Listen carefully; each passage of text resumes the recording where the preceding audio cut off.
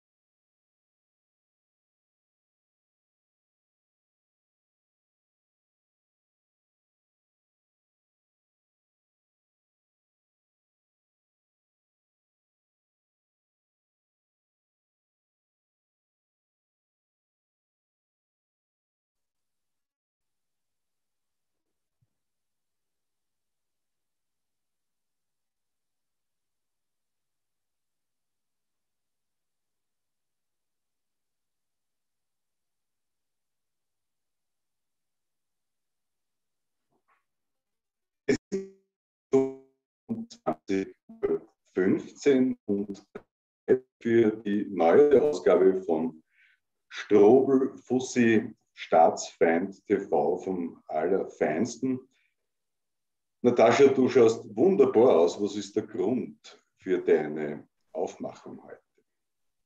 Ich habe seit eineinhalb Jahren kein schönes Kleid mehr angehabt und habe mir gedacht, was ist ein besserer Grund, als wenn ich dir gegenüber sitze virtuell? Du hast ja auch einen Wein geholt, habe ich gehört. Yes. Es lebe die Freiheit, solange wir sie noch haben. Ne? Eben. Eben. Was gibt es alles zu besprechen? Womit beginnen wir? Du, es gibt so viel zu besprechen.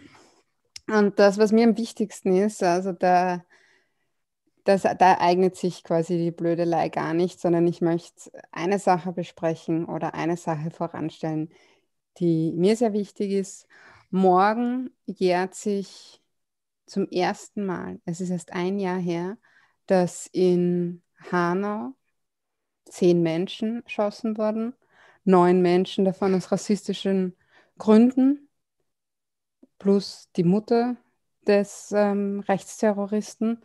Und es hat sich viel geändert seitdem, nur in diesem entscheidenden Bereich, dass Rechtsextremismus, Rechtsterrorismus, die, die Gründe dafür und wie sich diese Leute radikalisieren, das hat sich nicht geändert. Und wenn wir diese Strukturen wenn wir nicht hinter diese Strukturen schauen, hinter diese Radikalisierungsstrukturen, und die passieren vor allem online, das ist stochastischer Terrorismus, wo es in riesigen, riesigen Online-Communities die Leute sich gegenseitig aufstacheln, wo Einzelpersonen und Personengruppen dezidiert herausgefiltert werden und markiert werden, wo Menschen entwertet werden und Menschengruppen entwertet werden auf Basis von rassistischen, antisemitischen, misogynen und so weiter ähm, Ideologien, dann wird es wieder passieren. Und mir ist es einfach sehr, sehr wichtig, ähm, dass heute hier, auch hier in diesem Zusammenhang, nicht ähm, der Täter genannt wird, sondern dass wir den Opfern gedenken.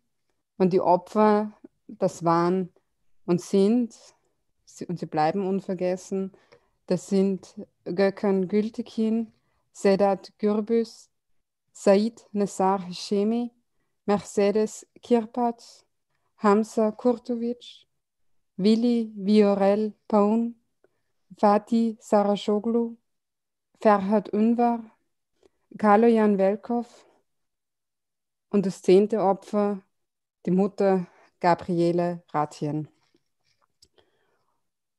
Und das darf uns bei allem, was passiert, ähm, dürfen wir nicht vergessen, dass das auch die Realität von sehr vielen Leuten ist, dass sie Angst haben müssen, dass ihnen Gewalt angetan wird, dass sie Angst haben müssen, dass sie oder ihre Lieben Opfer werden von so etwas. Und weil sehr, sehr wenig in den österreichischen Medien zu Hanau zu lesen ist, weil man das verdrängt, weil es woanders ist. Dabei ist es unser Nachbarland, dabei könnte es hier genauso passieren. Ähm, ist mir das als Einstieg einfach sehr, sehr wichtig. Die, die Frage, die ich mir immer stelle, ist, weil ja, um, um gleich den Konnex zu, zum, zum Casus Belli zu bringen heute, ähm, ich wurde ja verglichen in der ODS des Innenministeriums mit Extremisten und Verschwörungstheoretikern. Jetzt bringen Extremisten Leid um. Und äh, da hört man in der Politik immer wieder, äh, man sei gegen Extremismen jeglicher Art, egal ob von links oder rechts. Wenn ich an rechts denke, Bomben, Attentate ein, Franz Fuchs, äh, die NSU-Morde in Deutschland, brennende Asylantenheime etc. Und das Einzige, was man von linker Seite sozusagen dann immer hört, sind die Opernball bzw. Akademikerball, No Waker Demos sonst nichts. Wie ist es sozusagen aus deiner Sicht einzuordnen? Hast du einen wie sich das prozentuell verteilt, die Gefahr des Links- und des Rechtsextremismus im deutschsprachigen Raum? Ist das nicht zu setzen? Jetzt äh, meine ich nicht die Ideologin, sondern Gefahr, die für unsere Gesellschaft da ausgeht. Also es gibt die Verfassungsschutzberichte und da kann man, also so wie der Verfassungsschutz halt quantifiziert und man weiß, in welchem Zustand der österreichische Verfassungsschutz ist. Da ist es dann, ähm, also gibt es ja drei Extremismen, die dann angesprochen werden. Das ist immer dann der Rechtsextremismus, der Linksextremismus und der religiöse Extremismus. Und mit religiöser Extremismus ist immer ausschließlich ähm, äh, der Islam gemeint. Also anderen religiösen Extremismus gibt es offenbar nicht. Uh, und da verteilt sich, ich weiß jetzt nicht genau, aber so Pi mal Daumen, ähm, so der Rechtsextremismus ist immer hö am höchsten. Da, also ich möchte jetzt keine Prozentzahlen sagen, weil dann kommen morgen wieder alle, oh mein Gott, sie hat es aber falsch gesagt, äh, um, um 3 Prozent. Ähm, aber es ist immer Rechtsextremismus, ist immer sehr, sehr hoch. Als nächstes dann der religiöse Extremismus und dann als letztes mal der Linksextremismus. Und bei Linksextremismus heißt aber jedes einzelne Jahr in Österreich wie in Deutschland, das steigt aber jetzt zu viel. Deswegen ist das eigentlich das Gefährlichste. Und gleichzeitig ähm, erschießen Rechtsextreme Menschen, ermorden Menschen. In Österreich haben wir den Überblick nicht. In Deutschland ähm, sammelt die Amadeo Antonio Stiftung äh, die, die die Geschichten der Opfer und zählt die Opfer auch. Ähm, unfassbar ähm, viele, unfassbar divers einfach auch die Opfer, ja, von, von Homosexuellen, Obdachlose, ähm, Familienangehörige, rassistische, antisemitische Gründe. Also es ist wie so viele Leute, die die hassen. Und ähm, und auch wenn sich das verändert hat, ja, seit den 90er Jahren, ähm, organisierte Neonazi-Szene zu jetzt, wo wir sehr stark eben diesen stochastischen Terrorismus sehen, ähm, bleibt es dabei, dass Rechtsextremismus und Faschismus ist eine Mordideologie, ist eine Ideologie, wo man in, in, in letzter Konsequenz, und diese letzte Konsequenz ist sehr bald da, einfach Menschen ermorden will und es auch tut für das, was sie sind. Und äh, deswegen, ähm, also der Gleichsetzungen, das verbietet sich einfach, weil es einfach etwas anderes ist. Und jetzt muss man nicht gut finden, wenn, was war das, äh, Misskübel durch die Innenstadt geschossen werden, so wie das beim WKR-Wahl war, was ja der große Skandal war, dass Misskübel umgeschmissen worden sind, muss man eh nicht gut finden. Aber es ist nicht dasselbe wie Menschen ermorden. Was, was ich ja sehr lustig finde, ist, äh, jetzt war heute die ganze Medienlandschaft und in Social Media alles voll mit der Nehammer-Geschichte. Was unterging diese Woche ist, dass ähm, es ist ja nicht so, dass diese Mordfantasien in Österreich nicht, nicht existiert hätten. Die Jüngeren erinnern sich vielleicht nicht mehr, aber es gab ja die sogenannte WAPO, die äh, Organisation von Gottfried Küssel, äh, nach eigener Aussage das Ziel, mit der NSDAP wieder bei Wahlen anzutreten zu dürfen. Da hat man im Wald geübt, wie man politische Gegner ausschaltet. Wir wissen ja, dass auch unser Vizekanzler bei diesen Paintball-Spielen, wie sie es dann genannt haben, dabei war. Und heute marschiert, begleitet von der Wiener Polizei, der bekannteste verurteilte Neonazi und Holocaustleugner Österreichs an der Spitze einer Demonstration durch die Wiener Innenstadt, völlig unbehelligt, gibt Kommandos der Wiener Polizei. Das wäre doch, oder sagen wir so, für mich war das immer unvorstellbar, dass so etwas überhaupt passieren kann und bin eigentlich ob der Tatsache, dass es passiert, noch immer fassungslos. Während einer der Co-Demonstrationsorganisatoren von Martin Rutter, dem völlig durchgeknallten Kärntner, ein Deutscher mit dem Vornamen Merlin, also denkt man immer an so Zauberer, ja, der hat, den hat es ein bisschen aufzaubert, weil bei dem hat man eine Waffensammlung in Salzburg gefunden und, glaube ich, was 350 äh, Portionen oder äh, was weiß ich, Gramm oder viel mehr, Cannabis, dann irgendwelche LSD-Trips etc. Das war eine kleine Meldung in den Medien und sonst nichts.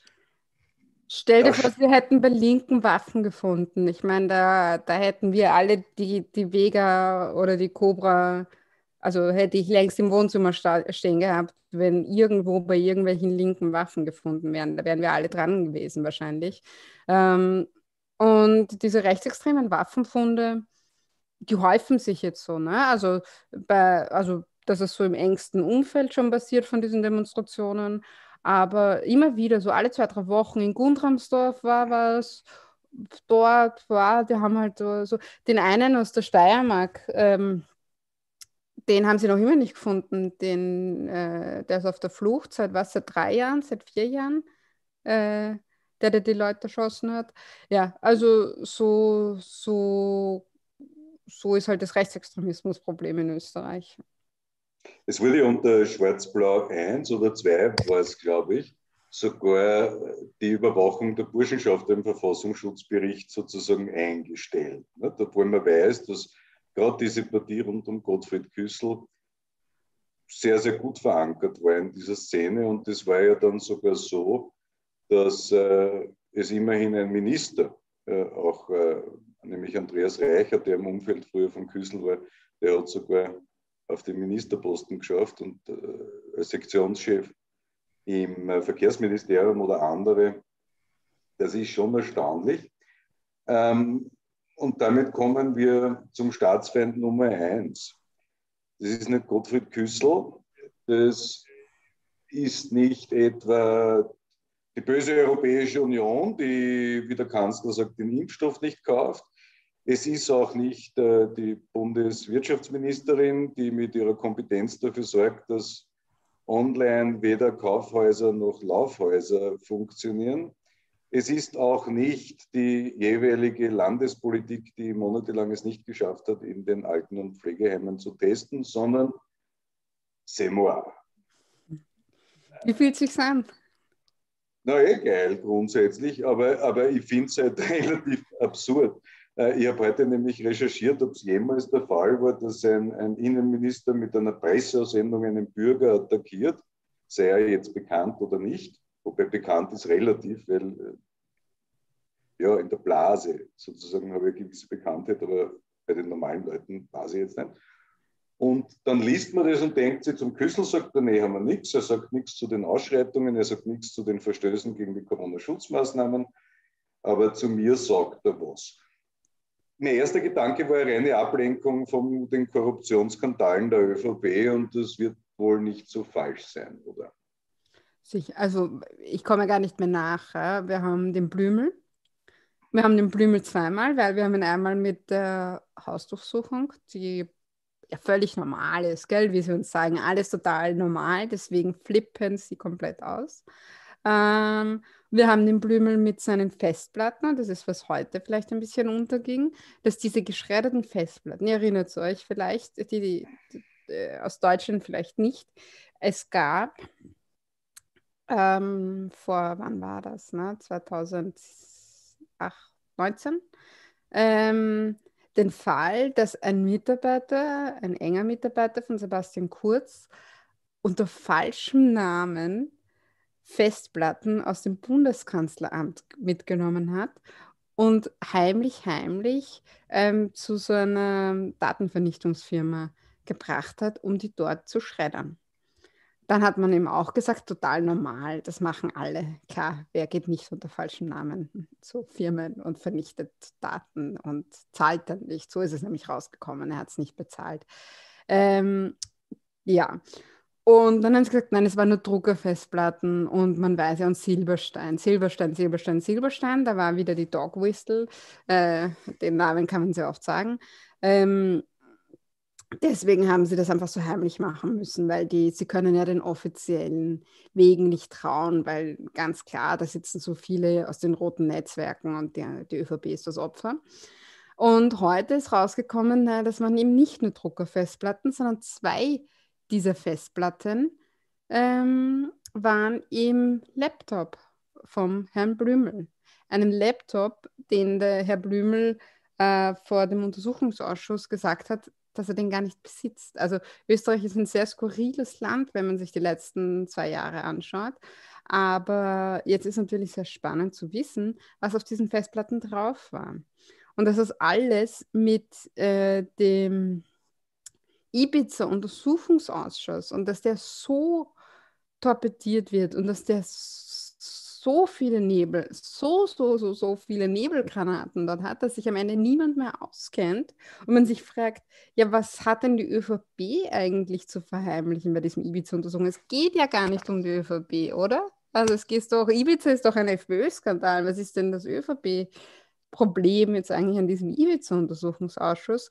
Macht das alles ähm, sehr interessant, denn vielleicht Vielleicht ist es gar nicht nur ein FPÖ-Skandal, dieser Ibiza-Untersuchungsausschuss oder dieser Ibiza-Skandal. Es fällt ja zumindest auf, dass die, dass die ÖVP eine Nervosität entwickelt, die man nur von Ehemännern kennt, die ihre Frau betrogen haben und da, wo dann die Spur des Lippenstiftes am Hemdkragen ist oder eine Rechnung für einen Ring, den die eigene Frau vergeblich sucht in ihrer Schmucklade. Den Ring muss also wer anderer bekommen haben. Da geht es jetzt um diese Novomatik und da war schon eines interessant, finde ich, äh, diese, diese fast panikartige einberufene Pressekonferenz von Gernot Blümel, wo er keine Fragen beantwortet hat, wo er aber ungefragt, genauso wie, die, wie der Mensch der ÖVP, der bewiesen hat, dass man auch mit zwei Sätzen ein Sechs-Minuten-Interview bei Wolfgang Fellner bestreiten kann, nämlich Wolfgang Gerstl. Die haben ungefragt und unaufgefordert ausgeschlossen, dass es Zuwendungen der Glücksspielindustrie, Waffenindustrie und Tabakindustrie gegeben habe. In der eidesstättlichen Erklärung sagt der Herr Bundesfinanzminister am nächsten Tag kein Geld von der Novomatik für die Bundespartei und für die Landespartei Wien, noch mit der Einschränkung, seit er bzw. Sebastian Kurz die Ämter übernommen haben.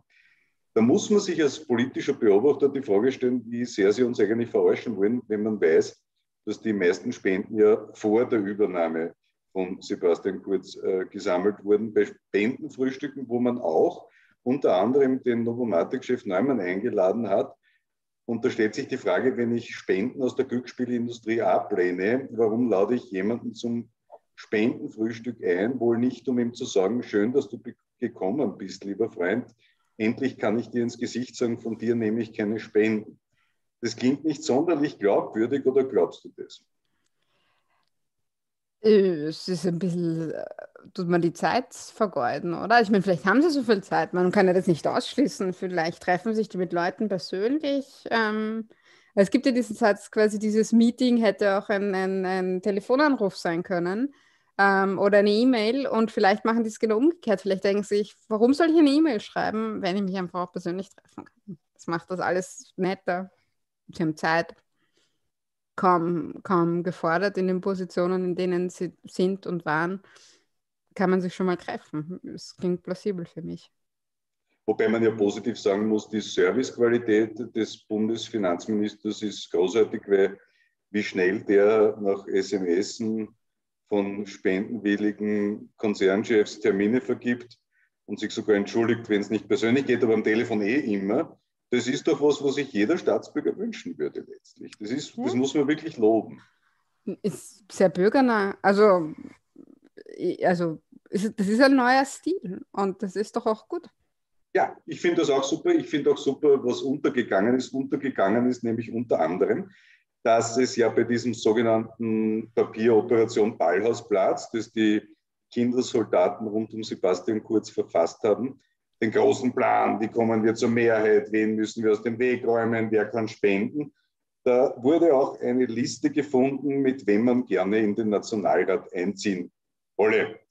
Und das Lustige ist, da steht zum Beispiel in Wien auf Platz 1, 2, 3, 4, 5, 6 die Gabi Spiegelfeld, die nämlich zu diesen Spendenfrühstücken eingeladen hat. Was ich sehr lustig finde, ist, dass auf Platz 1 in Wien sich das Team von Sebastian Kurz wen gewünscht hat, glaubst du? ich, ich sage, es ist eine Frau und man kennt sie aus dem Fernsehen und sie lädt gerne Cellisten zu sich ein. Cellisten? Ja. Hilf mir weiter. Ich kann nicht Vera Russwurm. Vera Russwurm, natürlich. Vera Russwurm Aber hat die dann nicht eh auch. Äh... Ja, die hat eine Sendung moderiert, wo der Herr Sobotka im ORF Cello gespielt hat. Wirklich, oh mein Gott, das ja. sind Dinge, die ich verdrängt habe. Aber sie ja. hat doch auch moderiert, oder? Für... Ja, für die ÖVP natürlich. Also, Dann, aber sie hat auch nach wie vor ihre Sendung, oder? Ja, natürlich. Also die dürfen auch. Besonderes Highlight für mich der Platz 2 in Tirol. Hörl? Nein, das wäre ja erwartbar. Ach so. was weiß ich, denk, Benny Reich. Denk an, na, ja, in die Richtung. Denk in Richtung Schauspieler. Tobias Moretti. Sein Bruder, Gregor Blohe, auf Platz ah, zwei. Oh, ja, das ist, und das ist der Mann von der Nina Proll, ne? Ja, genau. Also, kenne ich mich aus? Ich kenne mich bist, aus. Du bist unfassbar. Ja, also ich, wir können voll in die Seitenblicke-Gesellschaft. In Salzburg auf Platz 1, 2, 3, 4, 5, 6, 7, 8, 9. Ich kenne kenn keine neuen Leute in Salzburg. Nein, aber, aber, aber Salzburg, wenn du an Salzburg denkst, es gibt einen, sagen wir so, es ist der Bruder eines relativ bekannten und engagierten Wirtschaftspolitikers, der selbst im intellektuellen Bereich denkdenkmäßig unterwegs ist. Hat eine Agenda. Ja, den, eine, na, okay, den Schellhorn, den kenne ich. Franz Schellhorn wäre geplant gewesen auf Platz 9. Dann haben wir, was ich sehr, sehr schön finde, auch schön Oberösterreich auf Platz 1, 2, 3, 4, 5, 6. Da geht es ums Laufen ein bisschen. Digitales Laufen, kennt man sagen. Der Runtastic-Typ. Ja, genau, der ja. jetzt äh, bei diesen Startup-Dingen dabei ist. Ähm, aber es ist eine bunte Liste, kannst du nichts sagen, oder? Ja, ja, ja, ja, ja. Dann äh, in Niederösterreich, Platz 1, ist klar, da gibt es nur einen in Niederösterreich, da brauchen wir gar nicht diskutieren. Den Mundel der Niederösterreicher, Wolfgang Sobotka, ist keine Frage. Auf Platz 2 dann Bettina Rausch, die jetzt hat äh, beruflich den Twitter-Account von Sebastian Kurz betreut. Das hat nicht hingehört, aber auf Platz 5 immerhin Gottfried Haber der jetzt einen Job in der Nationalbank kriegt hat. Ähm, er ist halt qualifiziert, was willst du machen? Ja, ne, die Qualifizierung. Burgenland Platz 2. Denk an Südafrika, Corona und Wein. Ah, ja. Der, der, der Herr Hillinger. Hillinger, genau, Platz 2. Leo. Sorry, sorry. Leo Und bei der Bundesliste, Platz 1, kurz, klar, Platz 2, ist sie nicht ausgegangen, hat man Kooperation versucht. Ah, die Frau. Chris, oder? Ja, Nein. irgendein ja. Chris. Platz 3, ein Banker in Pension mittlerweile. Andreas Dreichel. Also ja, ja, genau, Chat, Chat, Chat. Das weiß ich auch. Warte, Seitenblicke Gesellschaft, die Frau hat den Opernball gemacht oder macht genau. den, oder gibt es den Opernball noch? Ja. Der Opernball ist quasi das, was der Martin Hochklub für die Und die, die ist nämlich die Desiree Treichel-Stürk und der Vorfahre Stürk war der, der erschossen worden ist. Der Kriegsminister. Genau. Ja. ja. Platz 15, Effe Dönmetz, unser Klagsgegner, und dann auf Platz 18 der Mick Hirschbrich, das ist äh, also ein Startup-Typ, der jetzt auf Clubhouse immer wichtig macht. Und auf Platz 19 der Arbeitsrechtler Wolfgang Matzal, dessen Unparteilichkeit ich hiermit hervorheben möchte und ihm herzlich zukoste. Ein paar davon sind unser Sport geblieben, aber die, die es nicht eingeschafft haben, sind zumindest gut versorgt worden in der Regel. Das heißt, es hat noch nie so eine volksnahe Parteibewegung gegeben wie die von Sebastian Kurz. Kann man das sagen? Absolut. Also man sieht Leute aus der Mitte der Gesellschaft von Opernball bis Startup. Also da, da fehlt kaum wer. Ja, es ist, es ist schön. Es ist, es ist wirklich, man könnte in einem Land leben, wo es ungemütlich wäre, so wie in Ungarn oder in Polen. Aber bei uns, du darfst alles sagen, es würde niemals ein Innenminister gegen dich persönlich vorgehen. Medien sind völlig unabhängig, werden nicht mit dem Geld niedergehalten. Es ist ein reiner Zufall, dass die Inseraten um 69 Prozent im Jahresvergleich gestiegen sind. Wolfgang Rosam Der hat mich Falstaff ist einfach ein sehr ja. Medium. Ja. Wer liest ihn nicht? Jeder. Auch böse zu sein, ja. Ja, Wo hast du, Arbeiterkinder. Ist es nicht so ein, ja voll. Also ich meine, wie hast du da den Wein ausgesucht? Ich suche meinen Wein übrigens exklusiv nach ähm, nach dem Label aus und mein wichtigstes Entscheidungskriterium ist, ob ein Tier drauf ist. Nein, Wenn ein Tier drauf ist, dann kaufe ich den Wein. Am ja, besten ein Fuchs oder eine Eule. Johann Wein, Weißburgunder aus dem Vulkanland. Ich habe irgendeinen Kremser, Krem, ist mir wurscht was, aber es ist eine Ente drauf. Und das finde ich jetzt, sehr gut. Ich komme jetzt ohne Probleme von Falstaff und Wolfgang Rosam zum Beraterumfeld der ÖVP und der vermuteten Parteifinanzierung. Das ist jetzt ein sehr, sehr schwieriger ja, Übergang. Es steht nämlich die Vermutung im Raum berichtet, zack, zack, dass die Parteienfinanzierung im Wesentlichen über ÖVP-nahe Berater gelaufen sei, die Scheinrichtungen gestellt haben sollen, mit denen keine Leistung verbunden ist. Wir alle kennen die Namen. Ähm, Hat die ÖVP überhaupt Berater? Ich dachte, das passiert alles einfach so, weil ja, wenn, sind. Ich glaube, der erste Berater von der ÖVP ist mal wie immer in solchen Systemen die Heilige Mutterkirche bzw. der Herrgott persönlich in der Gestalt von Wolfgang Sobotka. Der Haarkranz, die niederösterreichische Einheitsfrisur, sozusagen seit Erwin Bröll Gott gegeben, führt ihren Einfluss aus. Ich habe jetzt ein Sechzehntel von diesem Arschwein erst getrunken und merke, dass das mit der ZIP-Nacht der rechte Gaude werden wird, glaube ich. Auch rein. Ähm, ja, absolut. Also in Wahrheit, es ist ja alles lustig, hahaha. Aber, Nein, aber eigentlich nicht, nicht. Ich kann mich erinnern, dass ich 23 äh, war und, und, und das Opferjäger Volksbegehren gemacht habe, gingen, ging ich eines Tages zum Briefkasten und da war so ein Orange, war das Briefpapier vom Herrn Dr. Rami und von der Frau Huberta Genev drinnen Klagen der FPÖ, insgesamt 26. Aber hast du keinen RSA-Brief bekommen? Ich bekomme immer RSA-Briefe. Das weiß ich nicht mehr. Das kann sein. Das kann sein. Auf jeden Fall war dann drinnen quasi, die verklagen mich. Und da war ich vier Jahre knapp am Privatkonkurs und habe insgesamt, mein Mann und ich haben vier Jahre tatsächlich nur für die Freiheitlichen gearbeitet, in Wahrheit, um das zurückzuzahlen. Und das System war schon unter dem Heider so, der Böhmdorfer hat alle geklagt, nur damit ich die Pappen halte. Jetzt hat Gernot Blümel und die ÖVP-Generalsekretärin äh, passenderweise mit dem Namen Schwarz, was bei einer türkisen Soldatin ganz lustig ist, ähm, angekündigt, man glaubt jetzt 13 Leute. Und die sind nicht prominent. Jetzt, wenn mich wer klagt, ist mir wurscht, ich bin relativ wohlhabend, die können mich alle am in ein Zitat lecken und zwar ausführlich, solange es mhm. mir halt noch Spaß macht. Wenn es mir keinen Spaß macht, würde ich sagen, Burschen, machen wir Pause. Aber bei normalen Leuten löst das was aus, die zahlen das natürlich sofort ein, ziehen zurück, äh, trauen sich nicht mehr wieder was sagen.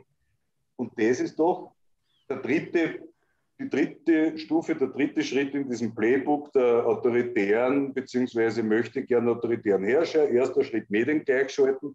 Da braucht man nicht mehr drüber reden. Nur als Beispiel, die depperte NEAM-OTS war auf Kurier.at, OE24 und Krone die einzigen drei Medien, die die heutige Berichterstattung nicht oben haben. Medien gleichschalten, Geld zuschütten, eingreifen in ORF. So, das haben sie schon gemacht. Mit der Ausschreibung über 210 Millionen, mit Hilfe der Grünen, die dort dem Sebastian Kurz eine tödliche Waffe in die Hand geben. Da kann man nicht einmal mehr Naivität als Entschuldigungsgrund anführen. Der zweite Schritt ist dann die Beschädigung der Institutionen. Das erleben wir auch. Die Beschädigung der WKSDA, die Beschädigung der Justiz, Sozialpartnerschaft etc. Und dann ist es sozusagen, sich Kritiker vorzunehmen. Jetzt muss dann eher ein ziemlicher Trottel sein, wenn er glaubt, er kann sie mitnehmen. Aber sie nehmen sie im Normalbürger. Wie ist es zu bewerten aufgrund einfach des, des komplett gekippten Machtverhältnisses zwischen Bürger und Minister, die den eigenen privaten Geld bestreiten, sondern perverserweise nur mit unserem Steuergeld gegen Schwache von uns vorgehen.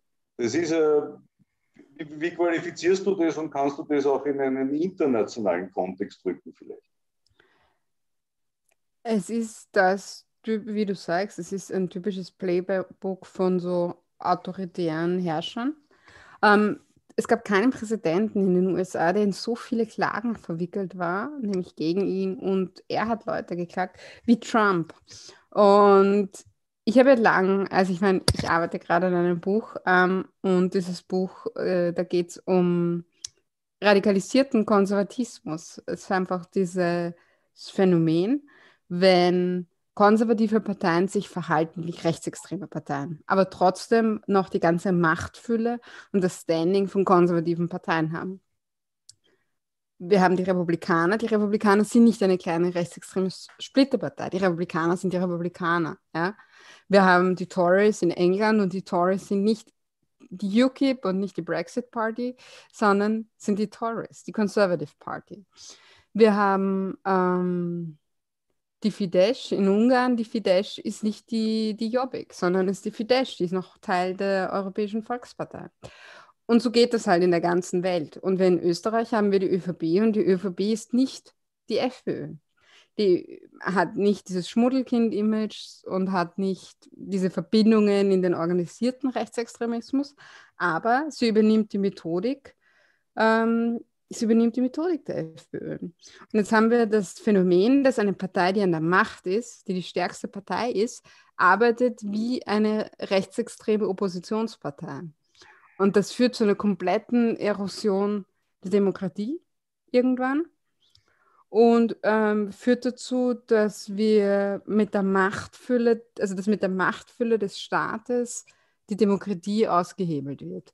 Und genau das passiert da, wenn das Innenministerium dazu übergeht, Leute persönlich rauszugreifen, an den Pranger zu stellen und nicht als, nicht als Partei, sondern als Staat gegen die vorzugehen, dann, ähm, dann hat man wirklich ähm, ein Problem in der Demokratie.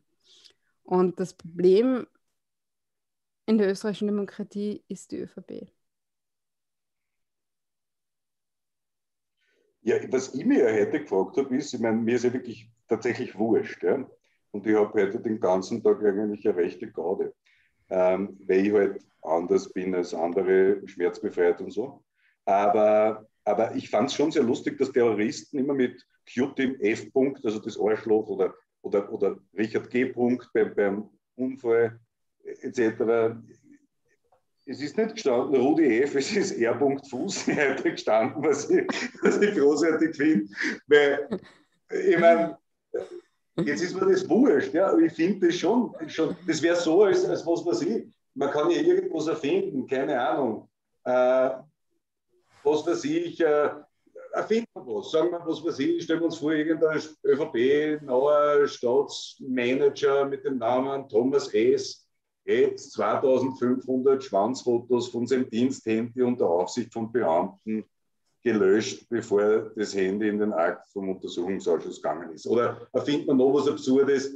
Äh, was fällt mir noch ein? Stell dir vor, irgendein ORF-Manager mit dem Namen W. fährt fett wo spazieren, wird aufgehalten und bekommt damit seine eigene Karriere.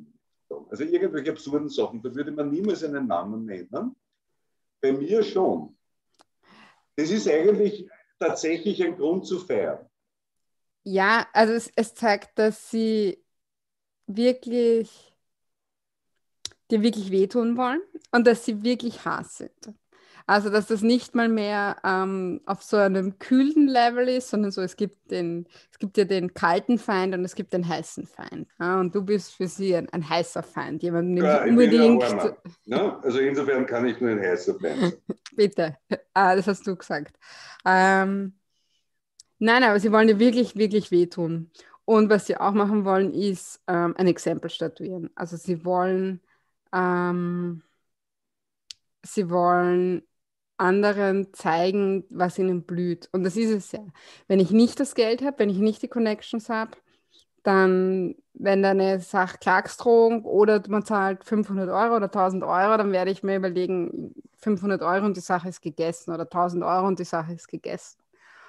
Auch wenn das wenn das keine Chance hätte vor Gericht.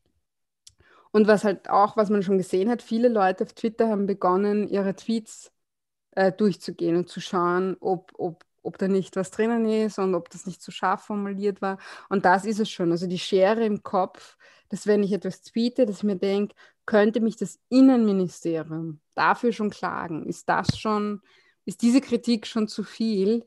Da beginnt halt schon Zensur und da beginnt halt schon also da beginnt schon das Ende einer liberalen Demokratie.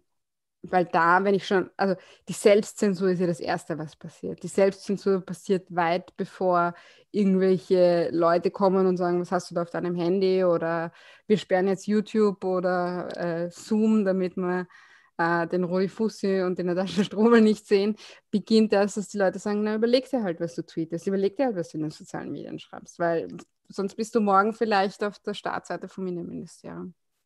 Naja, die, die Antwort ist relativ klar. Ich habe heute schon mit meiner Anwältin Maria Winterger gesprochen und, und auch andere Anwälte haben sich schon angeboten. Ich werde natürlich, sollten die tatsächlich diese 13 Leute klagen oder andere, werde ich mich natürlich vor diese Menschen stellen. Dann werden wir das notwendige Geld aufstellen und da braucht keiner Angst dann letztlich. weil äh, so, also können wir alles machen. Ja? Also kann jeder mit allem kommen, aber, aber auf die Art und Weise trägt man einen Konflikt nicht aus. Ähm, und wir werden, das kann lustig werden. Also wenn die wirklich glauben, sie können Normalbürger klagen, dann werden wir halt von Sebastian Kurz abwärts alle durch das Zeugen laden und, und fertig. Ähm, es ist halt alles ein Wahnsinn, weil letztlich geht das Ganze in eine Richtung, wo man sagen muss, jetzt wollen sie einen äh, Ober Oberstaatsanwalt quasi einführen. Da werden sie wahrscheinlich einen Schwarzen hinsetzen, der halt Veganer ist, damit die Grünen zustimmen. Ähm, wobei man fairerweise sagen muss, Nina Tomiselli, Eva Ernst Cicic und so weiter, andere Grüne haben sich heute ebenso solidarisch erklärt. Ich danke dafür herzlich. Also da zeigt man schon, sieht man schon, dass, dass, dass es schon noch welche gibt, auf die man sich wirklich verlassen kann ähm, auch aus der SPÖ. Sogar der Christian Deutsch hat eine Presseaussendung verschickt, den ich in meinem Leben nur kritisiert habe. Ich fand es sehr lustig, weil er muss es unter Schmerzen geschrieben haben, weil mein Name kommt nicht vor. Es steht immer nur ein Kritiker. Also das, das finde ich, find ich, sehr lustig. Ja. Ähm, und ich glaube, es ist nicht aus Datenschutzgründen, dass er meinen Namen nicht genannt hat.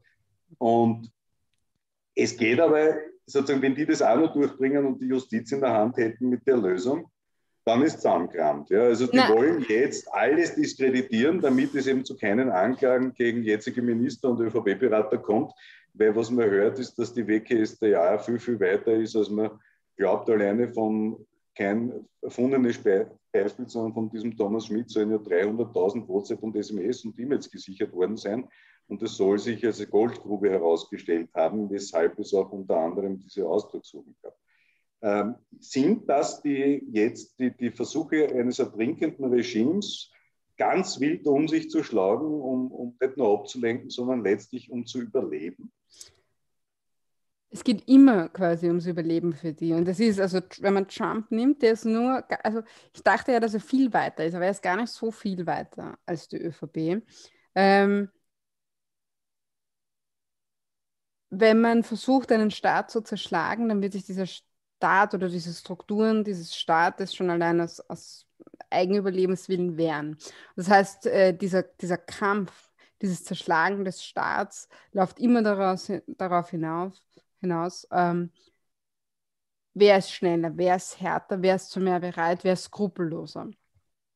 Und bei Trump ging das eben bis zu Aufruf, ähm, das Kapitol zu stürmen. Und wir wissen jetzt, dass das, also wenige Minuten nur waren, dass es da nicht zu, zu Massakern gekommen ist. Nämlich wirklich Massakern. Wirklich wenige Minuten, dass ähm, Abgeordnete der Demokraten äh, nicht in die Hände von diesen Leuten gefallen ist. Man kann sich ausmalen, was dann passiert wäre. Und das war, was der US-Präsident, US der noch im Amt war, bereit war zu tun, um diesen Staat zu zerschlagen, um die Strukturen dieses Staates zu zerschlagen. Und das Parlament ist natürlich ähm, die, das Sinnbild der Demokratie des Ganzen. So weit sind wir nicht. Aber wir sehen auch quasi diese Skrupellosigkeit und dieses unbedingt ähm, immer in der Offensive bleiben, nie einen Schritt zurück, nie zu sagen, jetzt ist es zu viel, jetzt ist es überdreht, sondern immer weiter, immer weiter und das bis zum bitteren Ende auszukämpfen. Und in diesem Fall nicht das Parlament, hatten wir historisch auch schon, ähm, auch nicht von der rechtsextremen Partei oder nicht von der Nazi-Partei, äh, sondern von der konservativen Partei, dass das Parlament zerschlagen worden ist.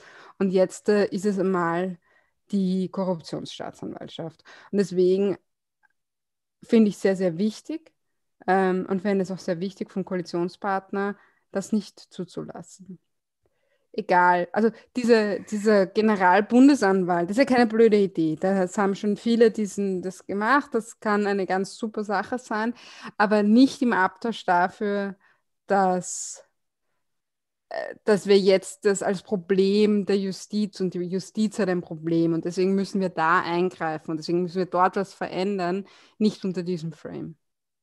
Ich weiß nicht, ob du gesehen hast, die, die, den Auftritt eine der, einer der sympathischsten und kompetentesten Ministerinnen dieser Regierung, auch sehr, also streut er Empathie aus, dass am Herz ganz aufgeht, die Caroline Edstadler. Die, das wusste ich nicht, dass die Assistentin von Herrn Pilnacek war. Und, und dann sozusagen ein einen Marshallposten, heißt das, gekriegt hat. Also das, die ist stellvertretende Leiterin der WK, WKSDA und ist dann karenziert worden, ne, damit sie Rückgerecht hat und eine schöne Pension. Die ist stellvertretende Leiterin der WKSDA und setzt sie ins Fernsehen und attackiert die WKSDA. Jeder andere Mitarbeiter würde mit einem Disziplinarverfahren überrollt werden. Sie wird für ihre treue Gefolgschaft zu Sebastian Kurz wahrscheinlich gelobt. Die war übrigens Richterin und äh, es gab nicht viele Fälle meines, meiner Erinnerung nach, wo die Staatsanwaltschaft gesagt hat, nein, Frau Roth, das Urteil ist zu streng. Wir legen Berufung ein. Da ging es um eine Demo gegen die ÖVP und die Burschen haben dann ein Schmalz ausgefasst, mich unbedingt sogar, was sogar der Staatsanwaltschaft war. Ähm, das heißt, wir sehen schon, was für Geisteskinder wir da haben. Apropos Geisteskinder, Hast du gewusst, es ist eine Neuigkeit für dich, dass wir jetzt in die entscheidende Phase der Pandemie eintreten werden, in den nächsten Wochen entscheidend sein wird? Ich bin schockt. Also ich weiß gar nicht, wie ich mich verhalten soll. Es ist alles sehr neu für mich. Es ist großartig. Ne? Also es ist jetzt wieder mal eine entscheidende Phase und wie ein kluger Kommentator geschrieben hat, der Anschau hat jedes Mal bis jetzt recht gehabt, aber er, er hat es nie, so, nie so gemeint. Ja, yes. du, ich habe vor ein paar Tagen den Geburtstag von meiner Oma gefeiert. Ich hätte sehr gehofft, dass sie zumindest einen Termin zum Impfen hat. Nope. Auch mein Opa nicht, der drei Jahre älter ist und vorerkrankt, man haben alle irgendwann. Ähm, auch keinen Termin zum Impfen. In, in Niederösterreich gibt es ein lustiges Computerspiel, das ist die Impfanmeldung. Da wollen sie, dass ja. die über 80-Jährigen vor dem Computer sitzen und dann wie bei einer Konzertkartenbestellung, wenn die Rolling Stones auf Tour gehen oder, oder irgendwelche jungen Leute, die ich halt nicht mehr kenne, wo dann in 10 Sekunden alles ausverkauft ist, so rennt es dort für die Impfung. Das ist, das motiviert die Alten, das bringt es ein bisschen, da kommt Nein, Ich, ich fand es schön, dass alle haben so dieses Uni-Feeling, wenn man um, was ja. auch, war noch immer um neun in der Früh oder um acht in der Früh da sitzt und du musst unbedingt in das Pro-Seminar rein, weil sonst ein ganzes Jahr wird das dann nicht mehr angeboten und du sitzt da und der Computer hängt sich auf und vier Sekunden später ist alles weg. Ähm, ich habe mich auch gefragt, ob die Leute dann auch so betteln gehen sollen in die Impfzentren und sagen müssen, bitte, aber ich brauche es unbedingt, weil sonst. Hm. Ähm, ja, schön, schön, richtig gut. Vor allem ist es auch richtig gut, weil es sitzen ja nicht die, die über 80-Jährigen dort, sondern es sitzen die Kinder oder die Enkelkinder da. Weißt du, wie gut sich das anfühlen muss, wenn du für deine 86-jährige Großmutter mit den mit der Diabetes und den Herzproblemen nicht den Impftermin bekommst. Also ich meine, das ist ein richtig gutes Gefühl, was man Leuten auch in der Pandemie gibt, weil man könnte auch einfach alle sich voranmelden lassen und das dann rein, aber ich finde so ein First Come, First Serve, das ist die richtig gut für die Psyche. Richtig die, gut. Die, die Oberfirst Surfer sind ja die Bürgermeister. Ja. Quasi. Also die sind die, die, die lassen sich impfen ohne Rücksicht auf Verluste weil sie ja immer wieder zum 100. Geburtstag gratulieren gehen müssen in die Seniorenheime, was mir als Begründung durchaus glaubwürdig erscheint. Ähm, Sicher, nur gibt es irgendwann dann, wenn die 100-Jährigen nicht geimpft werden, gar irgendwann. Da kann man immer gratulieren und ich glaube, das ist der Punkt, wo man die Bürgermeister überzeugen kann, weil da gibt es in der Gemeindezeitung nicht mehr 35 Fotos vom jeweiligen Bürgermeister, sondern nur 27. Jetzt haben wir fast 2000 wieder pro Tag. Ähm, in Deutschland gibt es schon, weiß ich nicht, glaube ich, 20 Landkreise, die eine 7-Tages-Inzidenz unter 35 haben. Ähm, bei uns ist, wir sperren sicher nicht so. Was sollen die scheiß Beef getan und Struktur? Wir sind, wir sind, wir brauchen kein Hirn, wir haben alles in die Eier. Äh, das, ist, das ist schon sehr speziell, diese ganze, es ist Opernball, alles Walser. Tirol Edition quasi. Ne? Die regen sich über den Söder auf, ähm, weil der Söder das macht, was Aufgabe von Politik ist, nämlich sein Volk zu schützen. Der Mario Buchinger schreibt aus Tiroler Virol den Virolern, selbstverständlich. Ja? Äh, nichts anderes. Aber lustig ist das nicht. 84 Prozent aller Südafrika-Mutationen kommen in der Europäischen Union aus Tirol. Und Na, aber weißt du, was nämlich auch ist? Was, ne? äh, dieses Argument, ich habe das sehr verstanden, wir haben das auch Leute erklärt, mit diesem, schau, wenn du in irgendeinem Tal bist, ja, du brauchst die Seilbahn, weil da ist eine Nebelsuppe und du musst irgendwann rauffahren und also auch für die Psyche und so. Das verstehe ich tatsächlich als, auch als Argument. Das ist auch ein Argument. Nur sperren die jetzt überall die, die Seilbahnen zu, wo, wenn die Touristen, die ja äh, eh nicht da sein hätten dürfen, wenn die, also komisch, dass für die heimische Bevölkerung lässt man die Seilbahnen nicht offen. Ich dachte, das war das Hauptargument und das ist auch für mich das eines der, der Argumente, was ich verstehe. Aber jetzt, wo die Touristen weg sind, jetzt wären noch die Seilbahnen zu, weil es nicht auszahlt. Und, und die heimische Bevölkerung schön. muss halt schauen, wo sie bleibt. Und da frage ich mich schon, ähm, wie, für wie blöd man eigentlich wen verkaufen will. Es ist alles ein Jammer. Ähm, wir haben ja heute gesagt, wenn wir, wenn wir in der Schnelle zwei, drei Gäste angefragt haben und die leider keine Zeit gehabt haben, wir wollten über Long-Covid ein bisschen reden und so weiter. Und dann haben wir gesagt, na, normalerweise ist ja so, dass die Hirnbefreiten eher nicht bei uns sind, sondern woanders und wir haben sicher Leute, die mit uns über irgendwas reden wollen. Irgendwas ist das Stichwort, nämlich äh, für Clubhouse. Das ist eine Elite-App, wo die Elite dort ist. Wir vertreten dort die Staatsfeindfraktion und dominieren die Party ziemlich dort, weil äh, wer will Harald Mara zuhören, wenn er über Kryptowährungen spricht? Wer will Harald Mara zuhören, wenn er überhaupt über irgendwas spricht? Highlight ähm, Theresa, Theresa, hallo, Theresa Hosser äh, und ihr Delfinraum. Ja. Also das ist ein sehr, wichtig, ein sehr, wichtiger ja. Clubhouse-Raum. Es ist großartig es ist wirklich sehr großartig, aber im Clubhouse sieht man sich erstens nicht und zweitens ist das alles ja auf Apple-Produkte beschränkt, während da bei uns kann jeder mitdiskutieren. Also sei den Leuten gesagt, sie sollen jetzt ihre Fragen darstellen und die Hände aufzeigen. Die allererste, die sich zwar nicht zu Wort gemeldet hat, aber die einfach, weil sie bei uns im Clubhouse immer dabei ist, einfach was sagen muss und sei es nur, um dir oder mir zu huldigen, ist natürlich wer? Ich sehe die, seh die Liste nicht, bitte. Na, wer ist immer, wer ist immer jeden Abend mit uns im Clubhaus? Ist wahnsinnig attraktiv, gescheit. Alle, alle unsere Gäste Nein. sind ganz attraktiv und gescheit. Die Raffaele. Die, ich habe sie gerade gesehen, ich wollte es gerade sagen, Entschuldigung, natürlich. Ja. Ist, auch die, ist auch die beste Person auf Clubhouse. Nein, das bin ich. Aber die, was, was sind das schon wieder für Lügen hier? Grüß Gott, Raffaella. Grüß Gott. Hi. Aus welchem Hi. Bundesland rufst du an? Wien. Wien. Was ist deine Frage, Raffaella? Wir sind ganz begierig, Sie zu hören. Es gibt zu gewinnen bei der richtigen Antwort ein Achtel Wein. Ja, schön wär's. Muss ich gerade ein bisschen mit ÖVP-Lern rumärgern. Aber Wie ist die Stimmung, Schatzi? Wen, wen, soll, wo, wen soll man angehen? Nein, ja. ich gehe schon auf Takt, bitte. Ah, ja. Ja, oh. Stimmung ist schlecht, Rudi, da müssen wir aber unter vier Augen sprechen, gell? Falls du es oh nicht gehört hast. Nein. Ja, schlecht. Okay. Jeder noch verifizieren, aber dann zünden wir was an. Ich dachte. Das ist aber neugierig. ja. Na, es ist gestern ein Anruf bekommen, ich mir gedacht habe, ihr wollt mich alle forschen. Aber ja, ich schreibe es dir dann. Okay. Es ist eigentlich ein Format, wo man sich politisch ein bisschen äußert zur Woche. Da die Strobelfusse. Was ist denn dein Resümee der letzten zwei Tage? Hast du Angst, dass ich Ihnen helfen muss oder bist du guter Dinge, dass das eh nur ein Nebelgranat ist? Ähm, selbst wenn du in Häfen kommen würdest, würde ich dir eine Pfeile in den Kuchen einpacken ja, oder Weed, was auch immer du möchtest. Ähm, nein, das war einfach beides. beides kann ich dir machen. Ja. ja.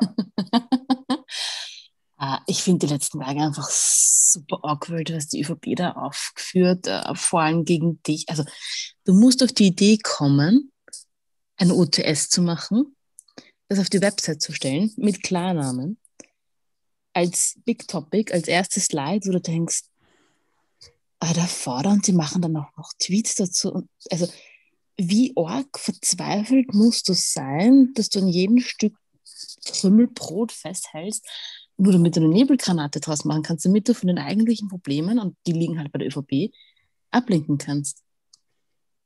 Ja.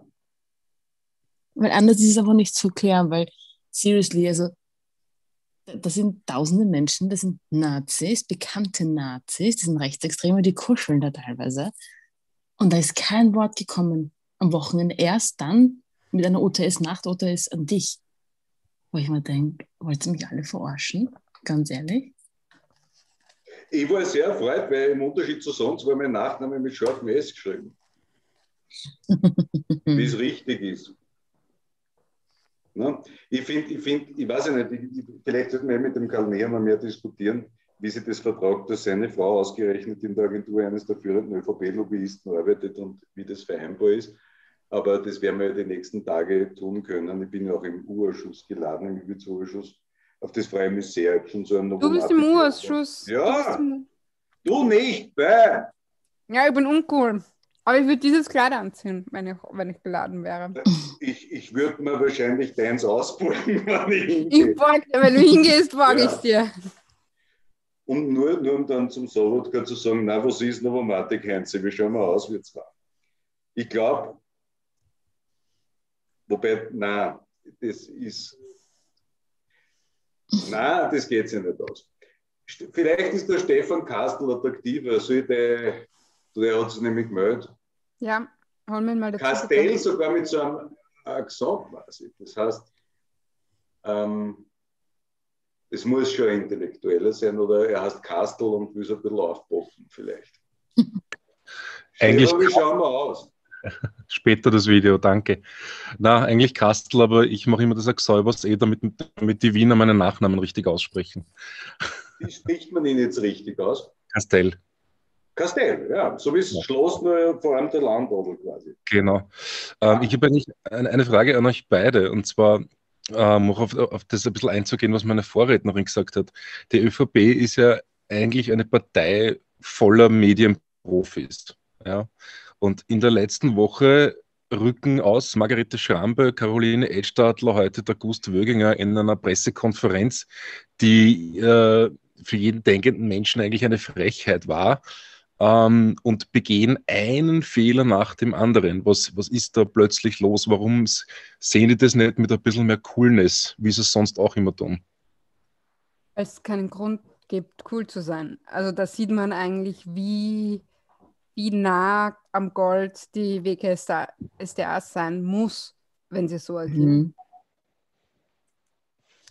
Und das Prinzip von solchen Parteien, also die ÖVP ist ohne Sebastian Kurz nichts. Also dieses Ganze, genauso wie diese, diese Republikanische Partei ohne Trump nichts ist. Das ist keine Partei, wo du viele Leute hast und naja, wenn es, weiß ich nicht, ja, ähm, ich sage jetzt irgendwas, die Hillary Clinton bei den Demokratinnen nicht ist, dann ist es halt Joe Biden offensichtlich. Ähm, aber dieses, das gibt es nicht, sondern das ist auf eine Führungsperson ausgelegt. Und, wenn diese, und diese Führungsperson musst du um alles, was geht, schützen. Und da baust du ähm, Ringe drumherum. Und der innerste Ring sind dann eben Leute wie der Blümel und so weiter. Und dann umso weiter außen die Bedrohung ist, umso unwichtigere Leute kannst du quasi ausschicken. Aber umso näher die Bedrohung kommt, umso mehr müssen sich diese inneren Ringe wehren. Und wenn es jetzt so nah ist und so viele Leute so hektisch sind, das heißt, dass die Bedrohung sehr, sehr nah sein muss. Meine Interpretation ist, dass du musst dir nur anschauen, das ist ja sehr lustig. Ne? Einerseits wird Sebastian Kurz verehrt, weil endlich einer, der führt und der immer gesagt hat, ich habe schon immer die Position eingenommen, dass die Balkanote geschlossen werden muss. Ich habe immer schon gesagt, ich war der Rufer in der Wüste, etc. Ich hätte ja viel härtere Maßnahmen durchgeführt, dass das Schwammerl sich nicht einmal gegen eine Tiroler Landespartei durchsetzen kann und dann nicht einmal die Eier hat, seinen engsten Verbündeten Gernot Blümel zu verteidigen, sondern ihn alleine im Parlament zu lassen. Äh, das war schon sehr erstaunlich.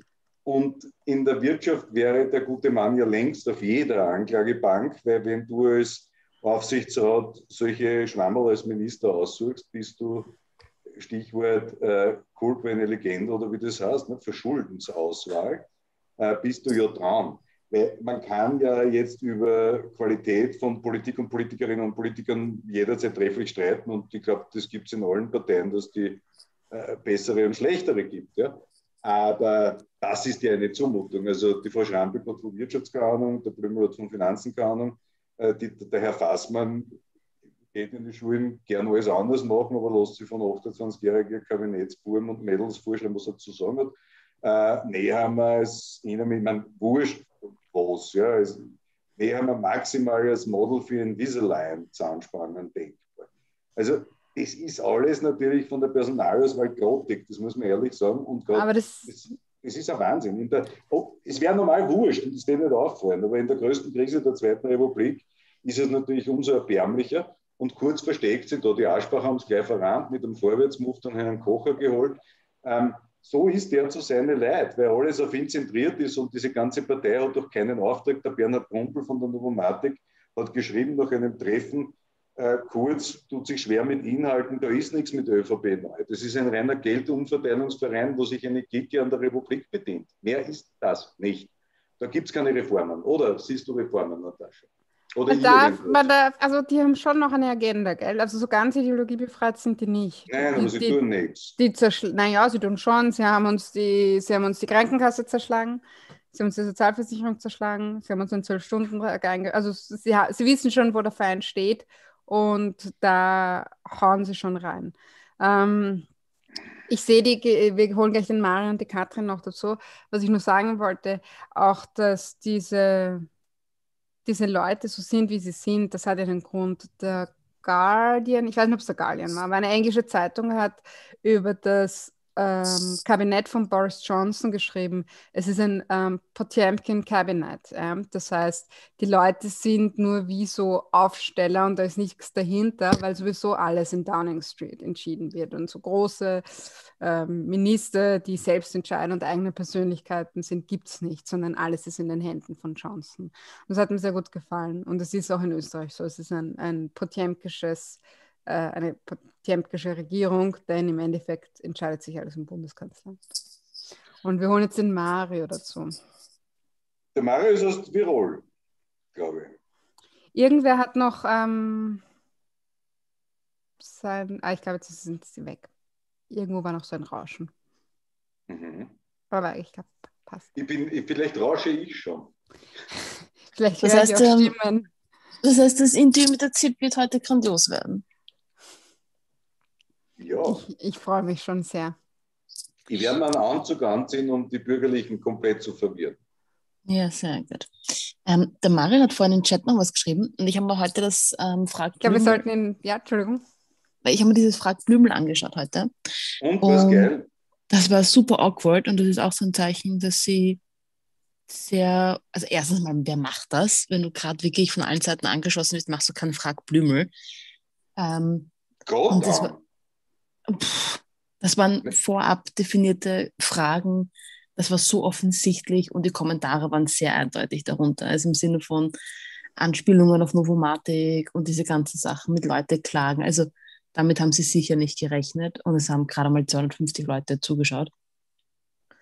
Und Blümel hat da auch super awkward gewirkt von der Haltung her und es gab zwei, drei Fragen zu Novomatik, aber alles immer Verteidigungsmodus und falsche Vorwürfe und alles geklärt und ich bin super entspannt und keine Ahnung was. Also, ja. Du, Rafa, Rafa, du hast so eine schöne Stimme, wir sehen die nicht. Und deswegen holen wir jetzt den Mario, weil den sehen wir. Da sehen wir ein großes Bücherregal, das schaut nach Bildung aus. Bilde uns. Schallplatten. Ganz viel Schallplatten. Ja. ja, Grüße. Schallplatten, okay. Ja, sicher. Der Rest klingt nicht. Ähm, Vielleicht ähm, eine Frage an die Runde. Ich, man hört, ich bin nicht aus Österreich. Ich klinge wie ein Piefke, ne? ähm, weil ich dort aufgewachsen bin, aber ich bin eigentlich aus Kroatien. Jetzt muss ich mal einen Bogen schlagen und mich interessiert eure Einschätzung. Also meine Frau ist eine Steirerin, die wohnt seit sechs, na, sieben Jahren jetzt in Österreich. Und ähm, ich habe den Eindruck, dass Österreich tendenziell näher am Balkan ist als an Deutschland. Also hier im Wettersteingebirge, da fängt der Balkan für mich so an, von dem, was ich erlebe, weil ich auch in Kroatien, ich habe beide Staatsbürgerschaften, erlebe also auch dort, was da so passiert. Und da gibt es genau dieses korrupte System. Nur mein Eindruck ist, das ist seit Regierung Kurz noch viel, viel extremer geworden. Ich weiß nicht, ob das eine falsche Einschätzung ist. Ich meine, Korruption gibt es überall. Das ist in Deutschland auch nicht unbedingt besser. Das gibt es da auch. Aber die Methodik und die Intensität scheint mir hier viel, viel intensiver zu sein. Also bei Herrn Laschet in Nordrhein-Westfalen haben sich über 500 Euro aufgeregt, die er seinem Schwiegersohn zugeschustert hat. Und hier reden wir über Millionen. Es regt sich irgendwie keiner drüber auf. Ähm, Ist das schlimmer geworden oder war das auch schon vor zehn Jahren so?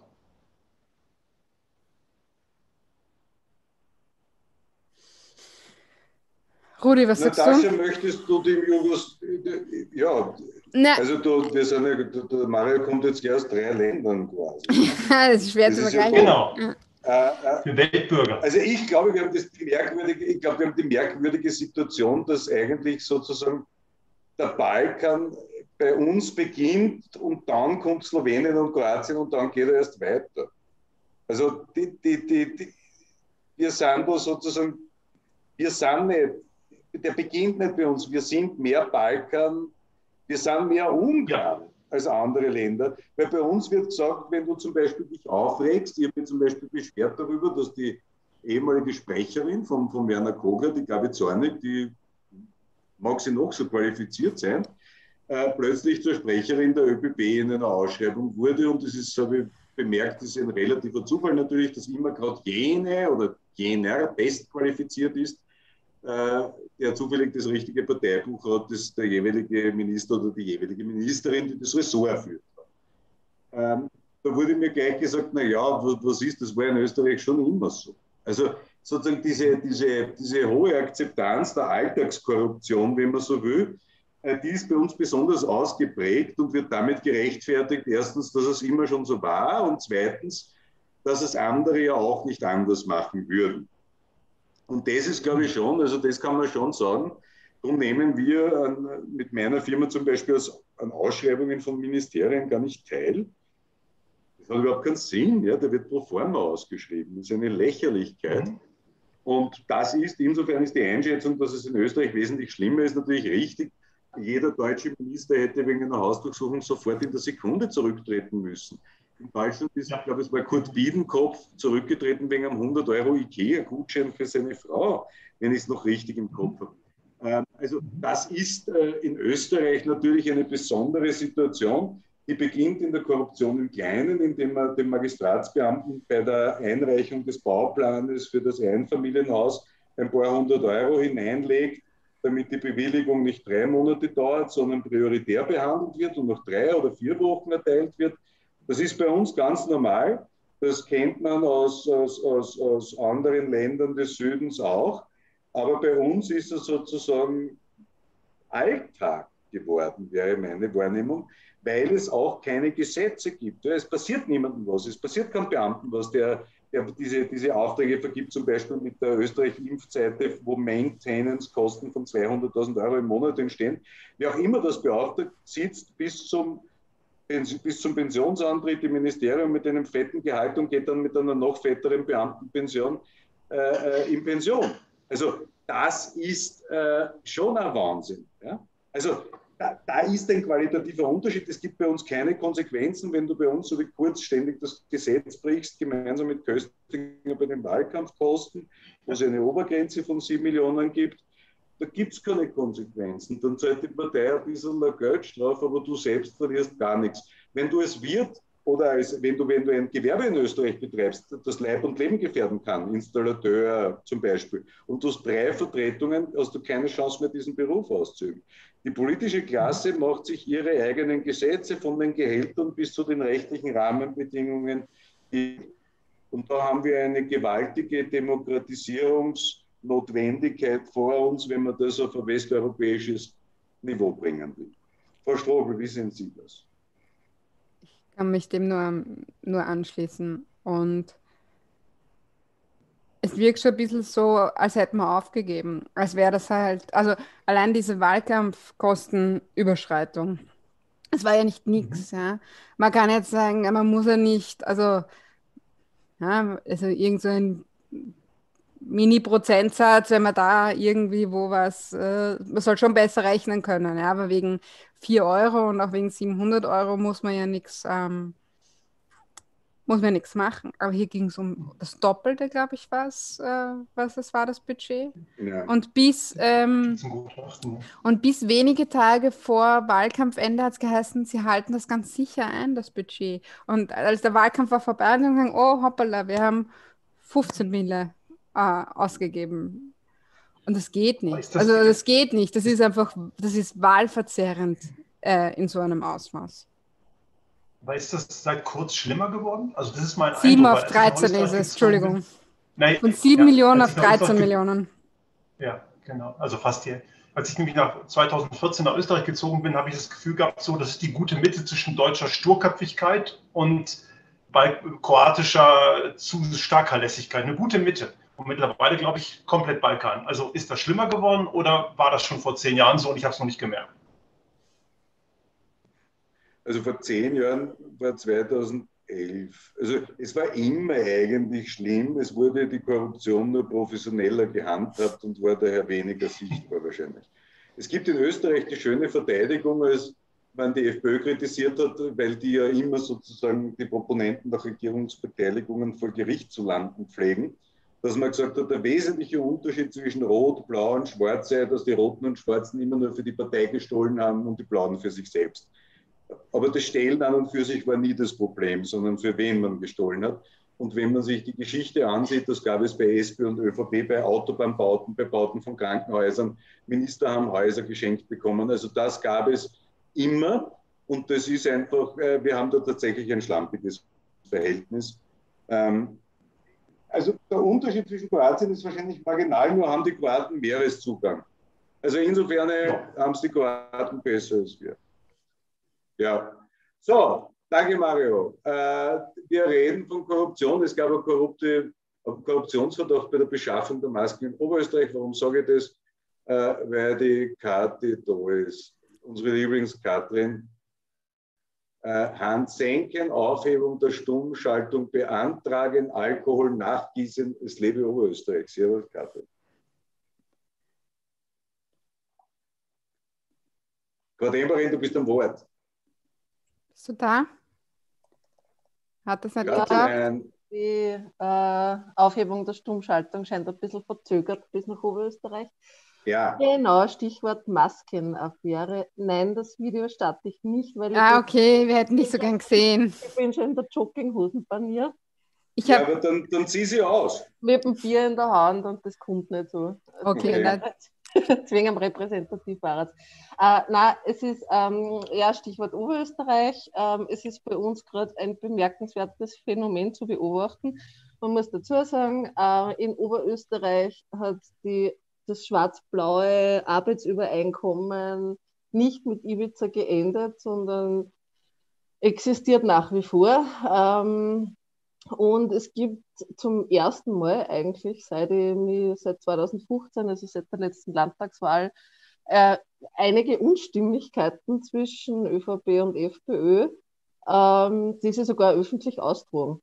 Also das, und das passiert halt jetzt und ich glaube, dass einfach diese Nervosität der ÖVP ähm, vom, vom Bund sehr stark nach Oberösterreich ausstrahlt. Ähm, wird nur spannend in, in, in in Richtung Wahl. Äh, das nur zur, zur Einleitung und Thema Maskenaffäre, der Rudi hat es schon angesprochen.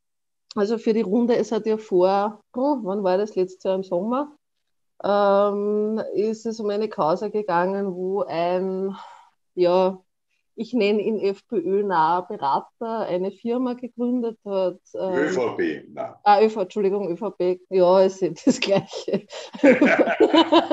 Außer im, außer im Burgenland. ja, also im Burgland, genau.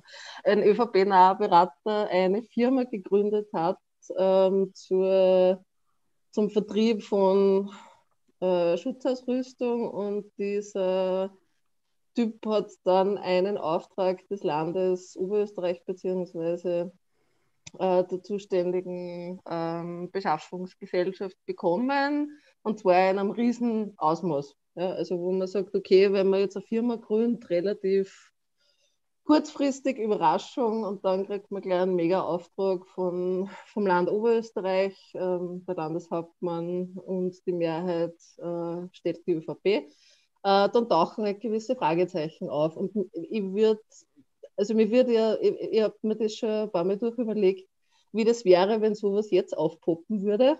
Weil damals war es so, dass die Staatsanwaltschaft keinen Anfangsverdacht gesehen hat in dieser Causa und das eigentlich relativ schnell vom Tisch war.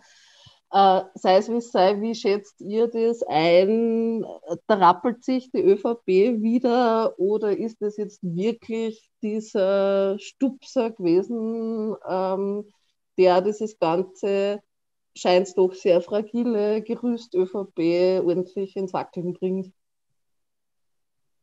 Ich frage auch wegen der Wahl im Herbst bei uns natürlich. Naja, also magst du beginnen, Natascha? Ähm, ich glaube ich glaub nicht, dass es das war. Äh, ich glaube, dass sich das viele wünschen. Bei mir äh, zum ich, Beispiel. Ja.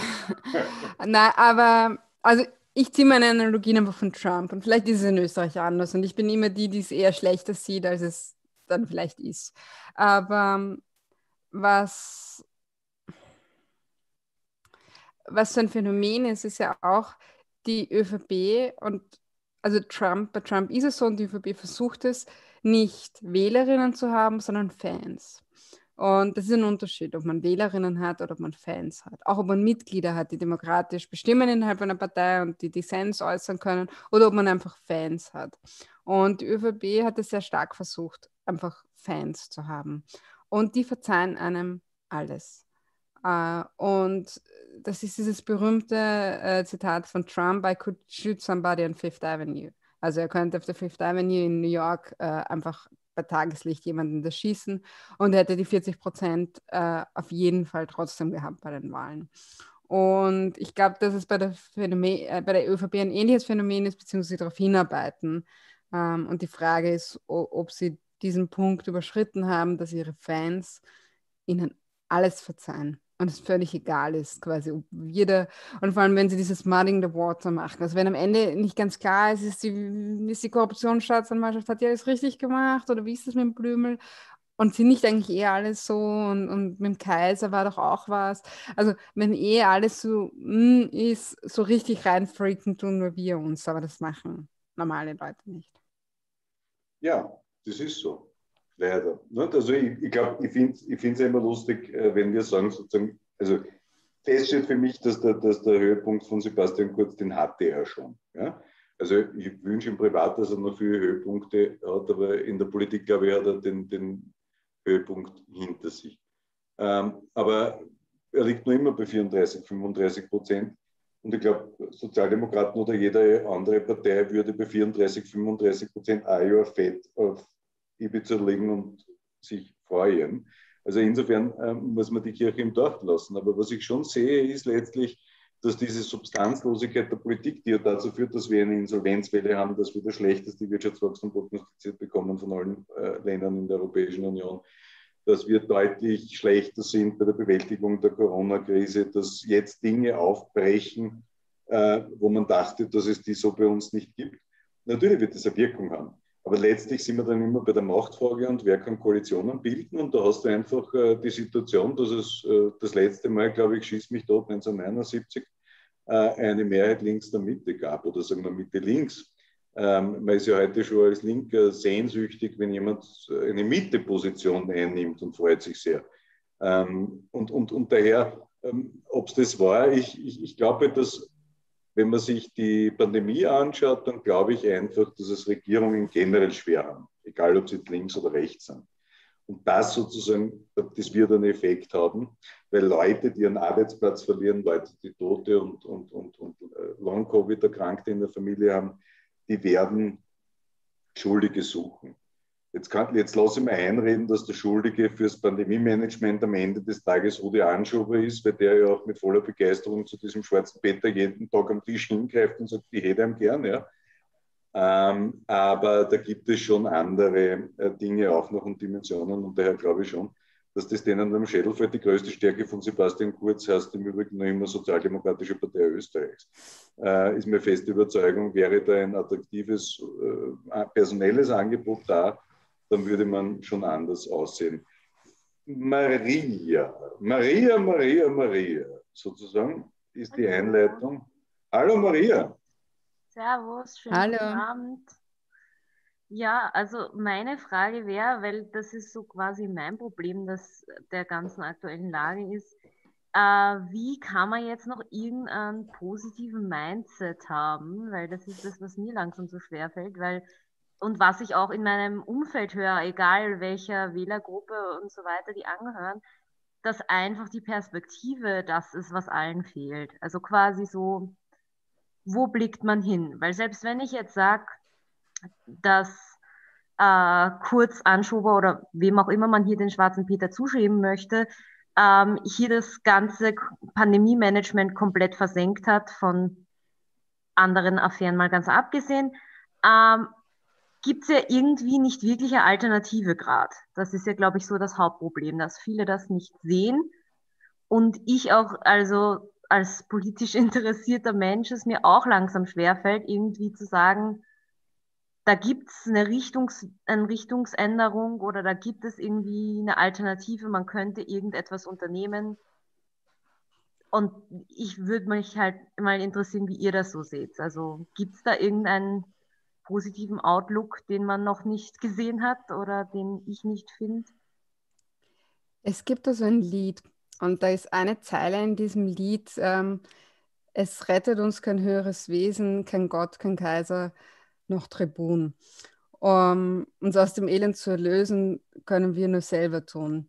Und das trifft halt immer zu auf Politik und das ist die Hoffnung. Also man darf sich nicht daran klammern, dass irgendein Ritter auf weißem Pferd oder auch eine Ritterin auf weißem Pferd kommt und uns das rettet, sondern Politik ähm, Politik, äh, das ist nicht das Abgehobene da oben, was in irgendwelchen Parlamenten passiert, sondern wie Gesellschaft ausschaut, da kann man schon selbst was mitreden und da kann man schon selbst was tun. Vielleicht nicht ganz alleine, aber im Zusammenschluss mit anderen Menschen. Und das ist meine, meine festeste politische Überzeugung ist, dass Veränderung immer von unten geschieht und immer dann geschieht, äh, wenn Menschen sich zusammentun um es zu verändern. Und ich meine das gar nicht naiv und, und das ist völlig klar, dass das, Nein, das harte Fakt, Kämpfe sind und also, genau ja, und das und deswegen das ist die das ist deswegen bin ich ein absolut also bei allem was furchtbar ist, aber das ist meine Hoffnung. Das ist wirklich meine Hoffnung, dass es das ist es nicht. Das ist nicht gegessen und das ist nicht das Ende der Geschichte und es ist auch kein, kein Fatalismus und wir müssen uns damit nicht ergeben es ist so schnell und die, die Zeit dreht sich so schnell gerade. Es kann noch viel, viel besser werden und es kann auch ganz schnell ganz anders werden. Und da glaube ich wirklich ganz, ganz fest daran. Ich denke auch, wenn man jetzt, also Entschuldigung, äh, wenn man jetzt so schaut, also ich habe auch Kontakt zu vielen, die etwas jünger sind als ich und die, ähm, da sehe ich einfach mehr Kampfgeist. Ich glaube, das ist, wenn ich jetzt so die, also ich bin, ich werde jetzt 28, also hm, aber ähm, also gerade bei den, bei den Teenagers oder bei den jungen Studenten, da sehe ich doch mehr Kampfgeist. Ich meine nicht, dass unsere Generation das nicht tut oder die Generation meiner Eltern es nicht getan hat, aber ich merke einfach, dass gerade, sage ich jetzt mal, Menschen wie die das Alter meiner Eltern in etwa haben, dass die, glaube ich, ähm, denen die Motivation fehlt oder den Anreiz, ähm, der, zu sehen, dass sie etwas verändern könnten. Weil ich glaube, wählen gehen, gut, dass es natürlich, ähm, sage ich mal, in meinem Umfeld sowieso klar, dass man, ähm, dass man wählen geht, dass man versucht, so etwas zu verändern, aber dass man einfach das Gefühl hat, man hat so eine überwältigende Mehrheit, die sich nicht mehr überzeugen lässt oder die nicht mehr auf Empathie baut, die nicht mehr auf zukunftsweisend baut, sondern die einfach in diesen Strukturen festgefahren ist und da nicht mehr anders möchte. Und bei den äh, Jüngeren sehe ich das ganz anders, die da voll ähm, voller Idealismus stecken, der dann Älteren dann oft fehlt. Natürlich jetzt mal grundgegeben, aber das, glaube ich, ähm, setzt sich jetzt noch mehr ab und ich weiß halt nicht, wie man das ähm, zusammenbringen kann, weil ich meine, die Gesellschaft besteht ja weder aus der einen noch aus der anderen Schicht, sondern es gehört ja alles zusammen. Ich bin absolut, also die, und es gibt mir aber auch wieder Hoffnung. Also wenn ich diese, ich, also ich nicht mehr 28, ich bin ein bisschen älter, ähm, aber wenn ich äh, die, auch die, die wirklich die jungen Kids sehe, ähm, die organisieren sich halt auf ihre Art und Weise. Und das ist anders, als wie ich das in dem Alter getan habe oder äh, der Rudi in dem Alter getan hat oder vielleicht auch du, ähm, aber es ist total schön zu sehen und das, das passt schon so. Und das gibt mir total Hoffnung. Und man darf sich einfach nicht gefallen lassen, also und das tun sie nicht. Und da kämpfe ich gerne mit denen, dass wir uns das alle einfach so nicht mehr gefallen lassen. Die, die, die, die wesentliche Frage ist sozusagen, aus welcher Position kann ich herauskämpfen? Wenn jetzt äh, die Maria mit 28 äh, alleinerziehende Mutter wäre, äh, keinen finanziellen Background von Eltern, falls die Waschmaschine kaputt wird und sie sich keine neue leisten kann, dann ist es wahnsinnig schwer, Mut zu machen wenn du, wenn du Mutter bist von einem dieser 350.000 Kinder, die in Österreich in Armut leben. Also ich, ich rede jetzt von der kurzfristigen Perspektive. Ja, ja, nein, das absolut. Ähm, äh, schwierig. Ich habe gestern mit einem Freund telefoniert, der, der hat seinen Hoffen gekündigt vor eineinhalb Jahren, hat sich dann selbstständig gemacht und, und steht jetzt vor der Delogierung. Äh, und, und, und, und der hat nichts falsch gemacht in seinem Leben. Ähm, und das sind aber nur Leute, denen es gut geht, unter Anführungszeichen. Ähm, also ich glaube, Perspektive, was kann Perspektive geben? Ich glaube tatsächlich, dass, dass diese Krise wie ein Brennglas ist. Das haben die Natascha und ich, glaube ich, schon sehr oft gesagt. Wo man tatsächlich von allen Bereichen, von der Massentierhaltung angefangen über, äh, warum verdient äh, eine Pflegerin weniger als ein Journalist äh, oder eine Supermarktverkäuferin, äh, warum ist es so, dass wir das einzige Einkommen, das mit unserem direkten, mit der direkten Leistung, sei es mit Fonds oder Köpfchen verbunden ist, am, am höchsten besteuern. Äh, warum haben sich die Wohnkosten so entwickelt, dass man heute 50, 60 Prozent im, im urbanen Raum des Monatseinkommens dafür ausgibt? Warum akzeptieren wir, dass 1 Prozent, 38 Prozent des Vermögens in Österreich besitzt? Ähm, da gibt es schon eine Perspektive. Ich sehe sie nur bei den bestehenden Parteien nicht. Und äh, ich bin aber guter Hoffnung, dass es uns gelingen kann, etwas Neues zu bauen. Und, und das ist ja kein Geheimnis, das habe ich die letzten Wochen immer schon erzählt, dass ich seit geraumer Zeit einen neuen Manifest schreibe, weil ich tatsächlich glaube, man muss diese Gesellschaft jetzt neu bauen und diese Chance nützen. Und das hat auch nichts mehr mit links oder rechts und den alten Schemata zu tun, Arbeitnehmer, Arbeitgeber etc. Das löst sich ja auf, äh, weil wir im Wesentlichen zwei Gruppen haben in der Gesellschaft, jene, die von ihrem Kapitaleinkommen leben können und jene, die das nicht können. Äh, und das ist die überwältigende Mehrheit. Ähm, und die Perspektive muss einfach sein, dass wir es schaffen, uns wieder hinter dem gesellschaftlichen Konsens zu finden, dass erstens, wenn jemand arbeiten geht, dann soll er nicht nur überleben, sondern ein gutes Leben mit seiner Familie führen können. Zweitens, wenn jemand arbeiten will, aber nicht kann, dann soll der nicht an, dahin vegetieren, weil das ist ja nicht sehr schuld, wenn er nicht kann.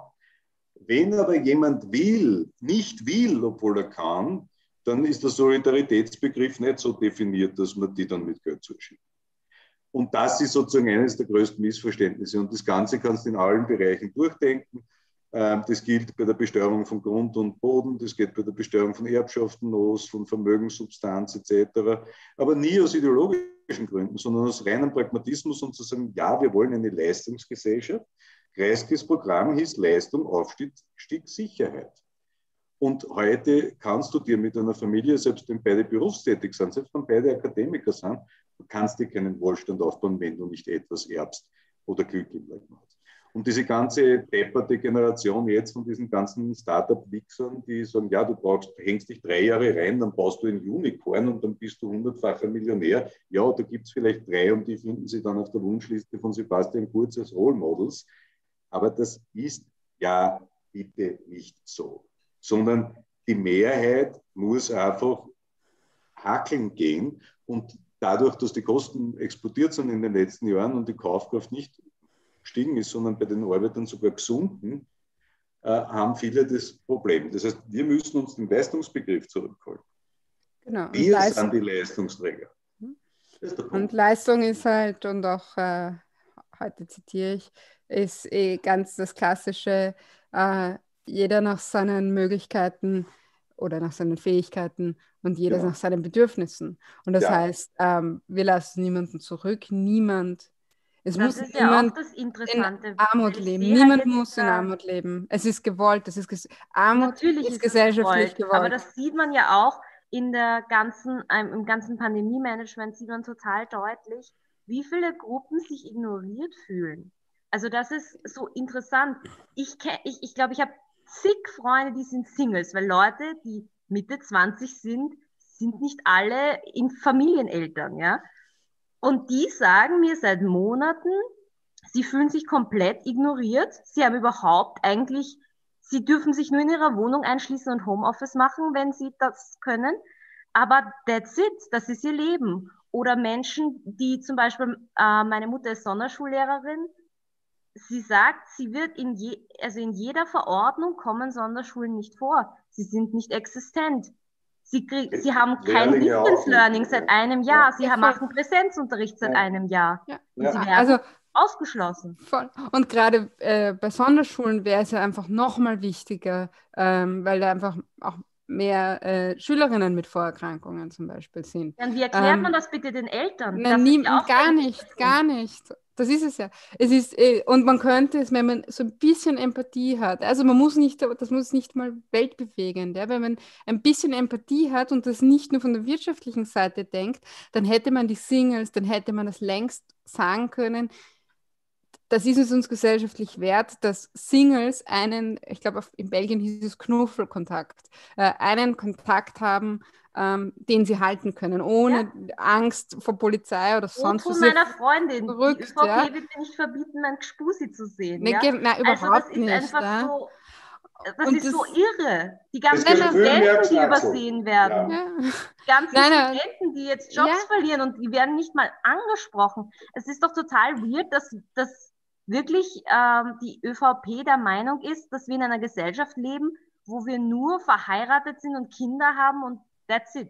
Aber es ist auch, also es ist ja auch zum Beispiel, wenn du kleine Kinder hast und Homeoffice machst, es geht nicht. Ja?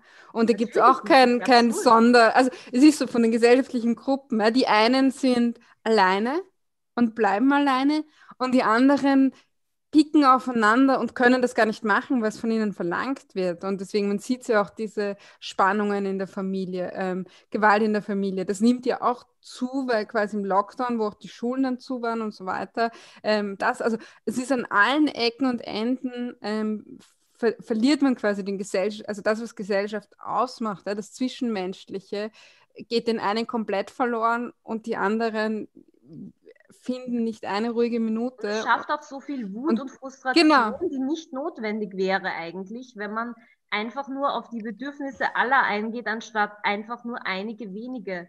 Weil Ja. klar, die Familie, die am Land lebt und einen Garten hat, die fühlt sich jetzt gut behandelt. Aber der Großteil Österreichs lebt nicht in dieser, in diesem Kastel. Ja. Ja. also der Großteil Österreichs hat vielleicht äh, niemanden, mit dem er zusammenwohnt oder zu viele Menschen, die auf zu engem Raum zusammenwohnen. Also das sind einfach so Dinge, wo ich mir immer wieder denke, warum wird das so komplett ignoriert? Sind die alle wirklich so ignorant und so können nicht über den Tellerrand blicken? Ich meine, jeder politische Berater wird ihnen doch mal gesagt haben, übrigens, diese Gruppen werden alle gerade nicht erwähnt. Die zählen nicht. Das Also das muss man ja. wirklich sagen, sie Ja. zählen, wir, wir alle zählen nicht. Danke, Maria. Wir haben jetzt einen User, eine Userin, das ist ein Risiko, das wir jetzt eingehen, weil Schmalzbrot kann jetzt alles sein.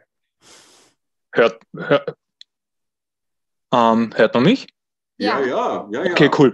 Ähm, Video lasse ich mal, aber ich habe jetzt Okay. äh, das, das, das, den Namen habe ich bewusst gewählt, weil ich nicht möchte, dass ich eventuell äh, von meinem Dienstgeber einen auf den Kopf bekomme. Und ich glaube, das äh, erklärt dann auch schon, wo ich arbeite. Und da wollte ich nur dem Rudi sagen, hey, ähm, mach da keinen Kopf drum, ja. Ähm, das ist alles nur eine Nebelgranate, weil wenn ich, wenn jeder angerissen werden würde, der auf Twitter irgendwie was gegen die Polizei schreibt, ja, dann äh, brauche ich hier nicht weiter sagen, ja. Danke, Ähm, das erste. ja, jung, ja, sehr junger Inspektor, ja. Und das zweite ist, ich wollte eher jetzt rüberschwenken zu den Demos, weil die mir und auch anderen Kollegen, vielen anderen Kollegen eigentlich Sorge bereiten. Und da wollte ich kurz aus einem Kollegenchat äh, vorlesen, zitieren. Also ich habe geschrieben, äh, der Küssel ist anscheinend an der Spitze mitmarschiert. Also ich weiß nicht, wie es dir geht. Name von einem Kollegen, aber langsam frage ich mich echt, ob sich die Einsatzleitung noch spürt. Und der Kollege hat geschrieben, alle, aber alle Kollegen, die er getroffen hat, weil er hat an dem Tag, am Demotag viel mit den Kollegen zu tun gehabt, haben sich geschämt. Echt peinlich das Ganze. Er fürchtet, das kommt von noch ganz weiter oben. Und äh, jetzt wollte ich besonders die Natascha fragen, wie du das einschätzt, weil ich habe das Gefühl, da braut sich echt was zusammen, weil in dem Moment, wo sich wirklich verurteilte Neonazis an die Spitze stellen und, und man braucht ja nur, man braucht ja nur die, die Channels der einschlägigen Leute aus dem Rechtsextremismus verfolgen. Die sehen jede Demo als Sieg. Und ganz ehrlich, ich weiß nicht, wie das irgendwie weitergeht und wie das endet. Und ich befürchte, das wird echt nicht gut enden. Also mal bravo und ähm, danke Respekt, für den Einblick. Ja. Und du hast ähm, völlig recht. Denn was man, Rechtsextremismus ist eine Ideologie der Tat. Das heißt, das Wichtigste ist das gemeinsame Erleben auf der Straße. Und dieses gemeinsame Erleben auf der Straße und so wie du das sagst, als Sieg, ähm, sich als Sieger fühlen. Die Stadt gehört uns, wir können alles machen. Das ist ein unglaublicher Rausch, das ist Adrenalin, was da ausgeschüttet wird. Das verbindet einen dann. Ja, selbst wenn ich mir denke, na, diese Impfgegner sind ein bisschen irre äh, und ich bin da eigentlich bei den Fußballfans, aber das gemeinsam zu erleben, oh, also zum Beispiel ohne Polizeibegleitung, da durch den fünften Bezirk zu gehen oder eine Polizeikette zu durchbrechen, ähm, das macht was. Und das ist, das ist sehr, sehr gefährlich und deswegen darf man die nicht gehen lassen. Also diese, dieses antifaschistische vom Prinzip von kein Millimeter, das ist ja nicht nur Folklore, sondern das hat ja genau dieses, ähm, diese Idee dahinter. Ja. Wenn die das nicht schaffen, ihre Demos zu machen, wenn die nicht weitergehen, wenn die als Niederlage heimgehen, dann macht das auch was mit ihnen, das demoralisiert. Und jemanden wie Küssel und sein Umfeld das muss man auf jeden Fall demoralisieren äh, und die dürfen auf keinen Fall als Sieger. Und das ist so ganz einfach Sieg oder Niederlage. Und was man auch und was auch vielleicht für die Kolleginnen ähm, interessant ist, diese demonstrative Verbundenheit mit der Polizei, die dann immer mhm. zur Schau gestellt wird. Ähm, ja. Man muss sich nur anschauen, wie es in den USA geendet ist. Ja. Das ist ja. ein, ein also es gibt schon Ideologe, das geht jetzt zu weit, ja, es gibt da schon ideologische Überschneidungen und so weiter, ähm, warum es da eine Affinität gibt. Aber auf der Straße, was da zelebriert wird, das ist ein kalkuliertes, ein kalkuliertes Verhältnis, ähm, wo man versucht, das mit reinzunehmen. Aber sobald es auf der Straße anders ausschaut, sobald es ähm, hier ein, ein, ein, ein, Widerspruch gibt oder einen Widerstand gibt, ähm, ist diese Freundschaft, die da vermeintlich herrscht, ist vorbei. Und Sehe ich genauso. in den USA gesehen, wo es um. ein, ein, der, der Officer Sidney, ähm, wo sie den einfach umgebracht haben. Ja, sehe ich genauso. Und ähm, das, falls noch andere Kollegen mithören, und es wird auch auf meiner Dienststelle diskutiere ich das eigentlich auch, dass man, wir dürfen nicht den Fehler machen, dass wir glauben, dass die unsere Freunde sind, weil das sind sie nicht. Nein, das sind sie überhaupt nicht. Und ich mich so geärgert deswegen, weil, weil, weil Bürstel und, und die anderen, wir waren, ich war bei dieser Abschiebung von der Dina dabei. Und was mich dort nicht nur meist, was mich mit am meisten fertig gemacht hat, war nicht nur diese fünfjährige, das fünfjährige Kind mit dem Stoffig im Bus zu sehen, sondern teilweise, wie halt Wegertypen tatsächlich mit absoluter Lust eingeschnalzt haben. Und das ist also quasi, die sich gefreut haben auf den Einsatz. Ja. Und, und ich kenne aber meine Schwägerin, Ex-Schwägerin, war, ist aus der Steiermark gekommen, ist in die Polizeischule gegangen in Wien, die war ein normales Mädel. Die hat das Pech gehabt, die ist dort mit ein paar Kieberer benannt gewesen, die halt sehr rassistisch waren. Und natürlich, du fährst dorthin zu einsetzen, primär wirst du wahrscheinlich selber wissen, wo es finanziell schwache Familien, wo die, wo die Gewalt daheim passiert. Das waren nicht Migranten, ne, weil wer ist finanziell am schwächsten etc. Und die hat dann, 2015 ist die völlig gekippt, ja, und die war unter dem Einfluss. Umgekehrt kenne ich so leibende Kieberer und die haben mich deswegen am nächsten Tag entschuldigt und gesagt, den Anständigen entschuldige mich. Und, und weil du das vorher vorgelesen hast, ich habe jetzt so viele E-Mails von Kolleginnen und Kollegen von dir gekriegt. Ich möchte nur eins vorlesen. Hallo Rudi, ich bin seit 35 Jahren Polizistin im Kriminaldienst. Der Vergleich mit der Intelligenz von Hunden war überaus entbehrlich und hat mich auch sehr geärgert. Insbesondere, da ich erstens Rot- bzw. Grünwählerin bin und zweitens immer meinen Job gewissenhaft mit Hirn und Herz gemeistert habe. Aber du hast dich entschuldigt und ich akzeptiere das. Sollte der Herr Innenminister tatsächlich Klage einreichen, so versichere ich, dass er dies zumindest nicht in meinem Namen tut. Diese öffentliche Anprangerung ist unwürdig und ich distanziere mich davon. Diese Nachricht darf veröffentlicht werden, jedoch ohne jegliche Namensnennung bzw. etwaige Hinweise darauf. Liebe Grüße. PS, empfehle Gespräche mit lang gedienten Polizistinnen und Polizisten. Glaube mir, den meisten geht das Ganze selber am A-Punkt, Punkt, Punkt. Und nein, die meisten sind keine Rassisten oder andere böse Bubenmädel. Nein, den meisten wird auch schlecht, wenn Kinder nächtens heimlich abgeschoben werden. Ist so, viele von uns sind auch Mütter und Väter. Ohne Uniform sind wir oft wie du, Busse. Und das hat mich heute sehr berührt, muss ich sagen. Ich frage mich dann nur sozusagen, warum, warum von oben, da wird in Rechtsextreme Zeitungen inseriert und dann Kickel, wenn du dich erinnerst, was glaubt man, was dann für Leute kommen. Ne? Also diese, diese, wie kriegt man das in den Griff? Was glaubst du, was man tun kann? Weil, sagst du was am Posten, wenn man sagt, die scheiß Jugosau oder da der warme Waschermann oder wenn Kollegen nicht disziplinarrechtlich verfolgt werden, wie bei dieser U-Bahn-Station, wo ich weiß nicht, ob du das Video gesehen hast, wo wir einfach es groß wird. Wo, wo, wie renntest du intern? Ähm, das, also ich habe das Glück gehabt, dass ich eigentlich immer auf relativ, jetzt auf zwei Dienststellen war, wo die Leute normal waren, sag ich jetzt mal so, also wo es halt nicht so zuging. Muss aber auch zugeben, ich bin innerstädtisch unterwegs. Also habe jetzt vielleicht nicht so ähm, die, die Einsätze, die die Kollegen im 10. oder halt im 16. oder so haben. Mhm. Ähm, was ich halt persönlich mache, ist, dass ich, wenn ich unterwegs bin, jetzt ähm, viel mit, mit Jugendlichen spreche, die halt Migrationshintergrund haben und dass ich denen halt sage, hey, was macht ihr nach der Schule? Schaut's, wollt ihr nicht zur Polizei kommen und so weiter. Ich habe selber Migrationshintergrund, aber mir sieht man das jetzt nicht so an, ja, weil der halt in Polen liegt, ja. Und ähm, du solltest mir nicht zu viel verraten. Ja.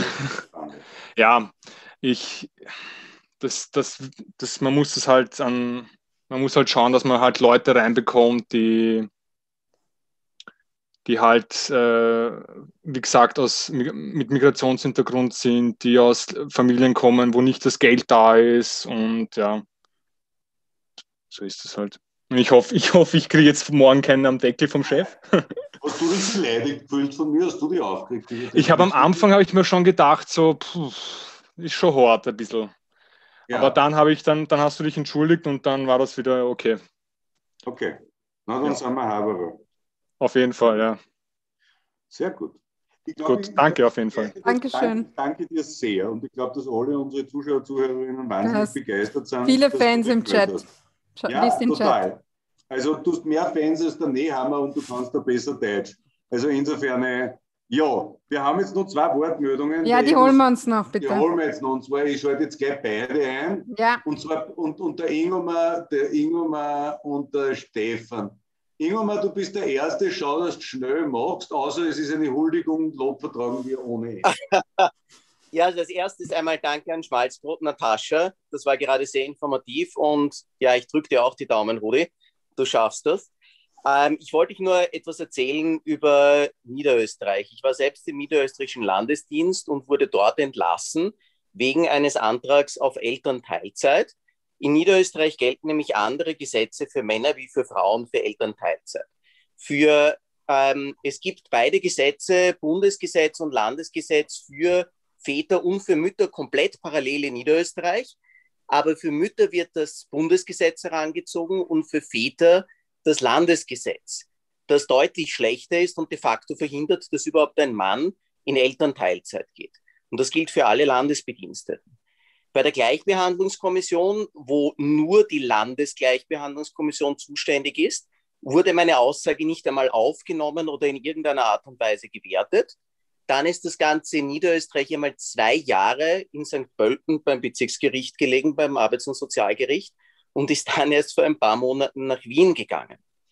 Man tut alles, was man nur tun kann, um einen Vater, der um Elternteilzeit angesucht hat, möglichst ja, davon abzubringen, weil man das einfach nicht will. Und meine Vorgesetzte an einer Uniklinik hat mir auch explizit ins Gesicht gesagt, wir wollen keine Männer, die bei uns in Elternteilzeit gehen. Und das schlägt dir dort in jeder Ebene entgegen und man teilt sich das in Niederösterreich ad libitum auf, für wen die Landesgesetze gelten und für wen die Bundesgesetze gelten. Und du bist komplett alleine, denn du kannst dich auf keine Bundesinstitution berufen, denn es gilt ja nur jeweils die Landesinstitution. Und da sitzen genau die Leute drinnen, die dann wieder von der Landesamtsdirektion B genau die Anweisungen bekommen. Das sind exakt dieselben Leute, die, die davor, ich wollte jetzt schon was sehr Böses sagen, aber ihr wisst, was ich mir denke. Also es ist ein strukturelles Problem, das, glaube ich, auch durch den Föderalismus betrieben wird, dass solche Strukturen sich überhaupt in Österreich halten. Und das ist traurig. Das wollte ich euch nur mitteilen, was da die Situation wirklich von Eltern ist. Und übrigens, es ist im Niederösterreichischen Landesdienst an den Unikliniken seit 2015, das ist herausgekommen, kein einziger Mann in Elternteilzeit gegangen. Und ihr könnt raten, warum. Das müssen wir beheben. Also das werden wir, irgendwann merkt er das und dann, wenn, wenn wir schreien, die Revolutionstruppen beginnen, dann muss das Thema einbringen, weil das müssen wir auch reparieren natürlich. Ja, aber es Oder ja. Natascha? Ja, ist ja unmöglich. Also äh, das zeigt Ja. einfach, also ich weiß gar nicht, wo ich beginnen soll, aber es zeigt einfach sehr, sehr viel auf, angefangen von ähm, der Bewertung von Elternarbeit äh, über wie man Väter sieht, ähm, über wie Niederösterreich funktioniert und äh, da sind wir auch weit weg von liberalen Demokratien. Ich sitze in Niederösterreich, ich muss dem Ach so, widersprechen. ich kann in Wien, kann ich Goschet sein. Ja, ich auch, aber ich, muss wirklich sagen, Niederösterreich ist eine vorbildliche Demokratie. Ich, ich habe Wir eine machen mal- Lagerhauskarte und ist sehr schön. Und jetzt kommt der Stefan Lasnik Bitte, von einer Demokratie zur anderen, Tirol. nach Tirol. Bitte, wir haben leider da keine Untertitel, Stefan, du musst dich bemühen. Gell? Ich schalte jetzt einmal diese Aufhebung der Stummhaltung. Ja, ich habe mir jetzt zu Wort gemeldet, weil auf eine Folge Strobel Fussi ohne Tirol-Content, ich glaube, ist jetzt inzwischen unvorstellbar, oder? Ja, Ja. absolut. Äh, na, Natascha, Rudi, ich wollte noch einen Aspekt einbringen. Ich, wür- würde gerne nochmal zurückkommen zu dem, äh, zu dem Staatsfeind Nummer 1 Thema, ähm, weil ich bin heute wieder drauf gestoßen, was die Nic Nicole Schöndorfer schon im September letzten Jahres äh, aufmerksam gemacht hat, nämlich ich vermute ja, dass, da, dass sie das, was sie gerade rechtlich prüfen bei dir, Rudi, ist ja der Hass im Netzparagraph. Also den Hass im Netzparagraph hat man ja eingeführt, eigentlich um speziell jetzt äh, Frauen, die im Netz attackiert werden oder sonst oder, oder, oder andere, also Leute, die sich schwer wehren können sonst, dass man, dass die, die besser wehren können. Aber in diesem Hass im Netzparagraphen steht ja auch drin, auch die Vorführung eines Polizeiorgans mit dem Ziel, die Staatsgewalt herunterzumachen, soll auch unter diesen Hass im Netzparagraphen fallen.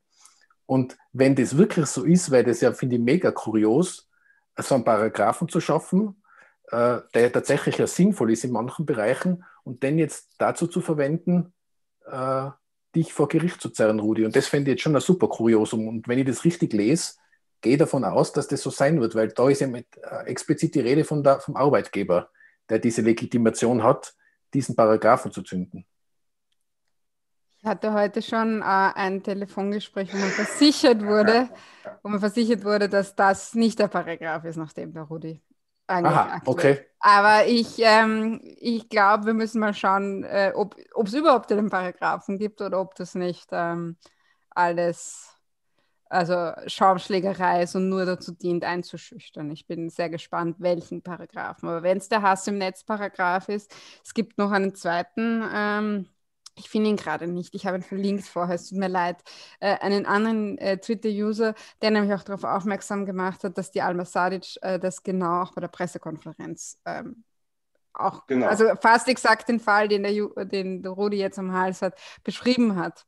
Aber ähm, ich bin sehr gespannt, ob, also man, man hat mir versichert, es ist nicht, dieser, dieser Paragraph kommt nicht ähm, zur Anwendung, aber so wie sich liest, könnte Die er. Juristen sind einer Meinung, also Frank Höpfel und andere und auch meine Anwältin, die Maria Windhager, sind eindeutig, dass das nicht klagbar ist. Ähm, Und der Alfred Noll, ehemaliger Liste Pilz-Abgeordneter und, und äh, Anwalt, und zwar einer der besten wahrscheinlich, hat im Standard-Forum heute einen offenen Brief an Karl Nehammer geschrieben, der sehr kurz ist, kann ich zur Kenntnis bringen. Lieber Karl, seit 13. Februar prüft unter Anführungszeichen den hausrechtliche Schritte gegen Rudi Fussi. Nun weiß ich nicht, welche Abteilung du mit dieser Prüfung beauftragt hast. Ich darf dir aber aus meiner jahrzehntelangen Erfahrung als Medienanwalt versichern, dass eine derartige Prüfung in etwa dreieinhalb Minuten durchzuführen wäre. Und es hätte also die Prüfung, Klammer auf, wenn hier für die Verlautbarung schon Überstunden samt Nachtzuschlag angefallen sind, Doppelpunkt, ne, noch am selben Tag ein Ergebnis dieser Prüfung vorliegen können. Dir zum Vorteil erlaube ich mir also den Hinweis.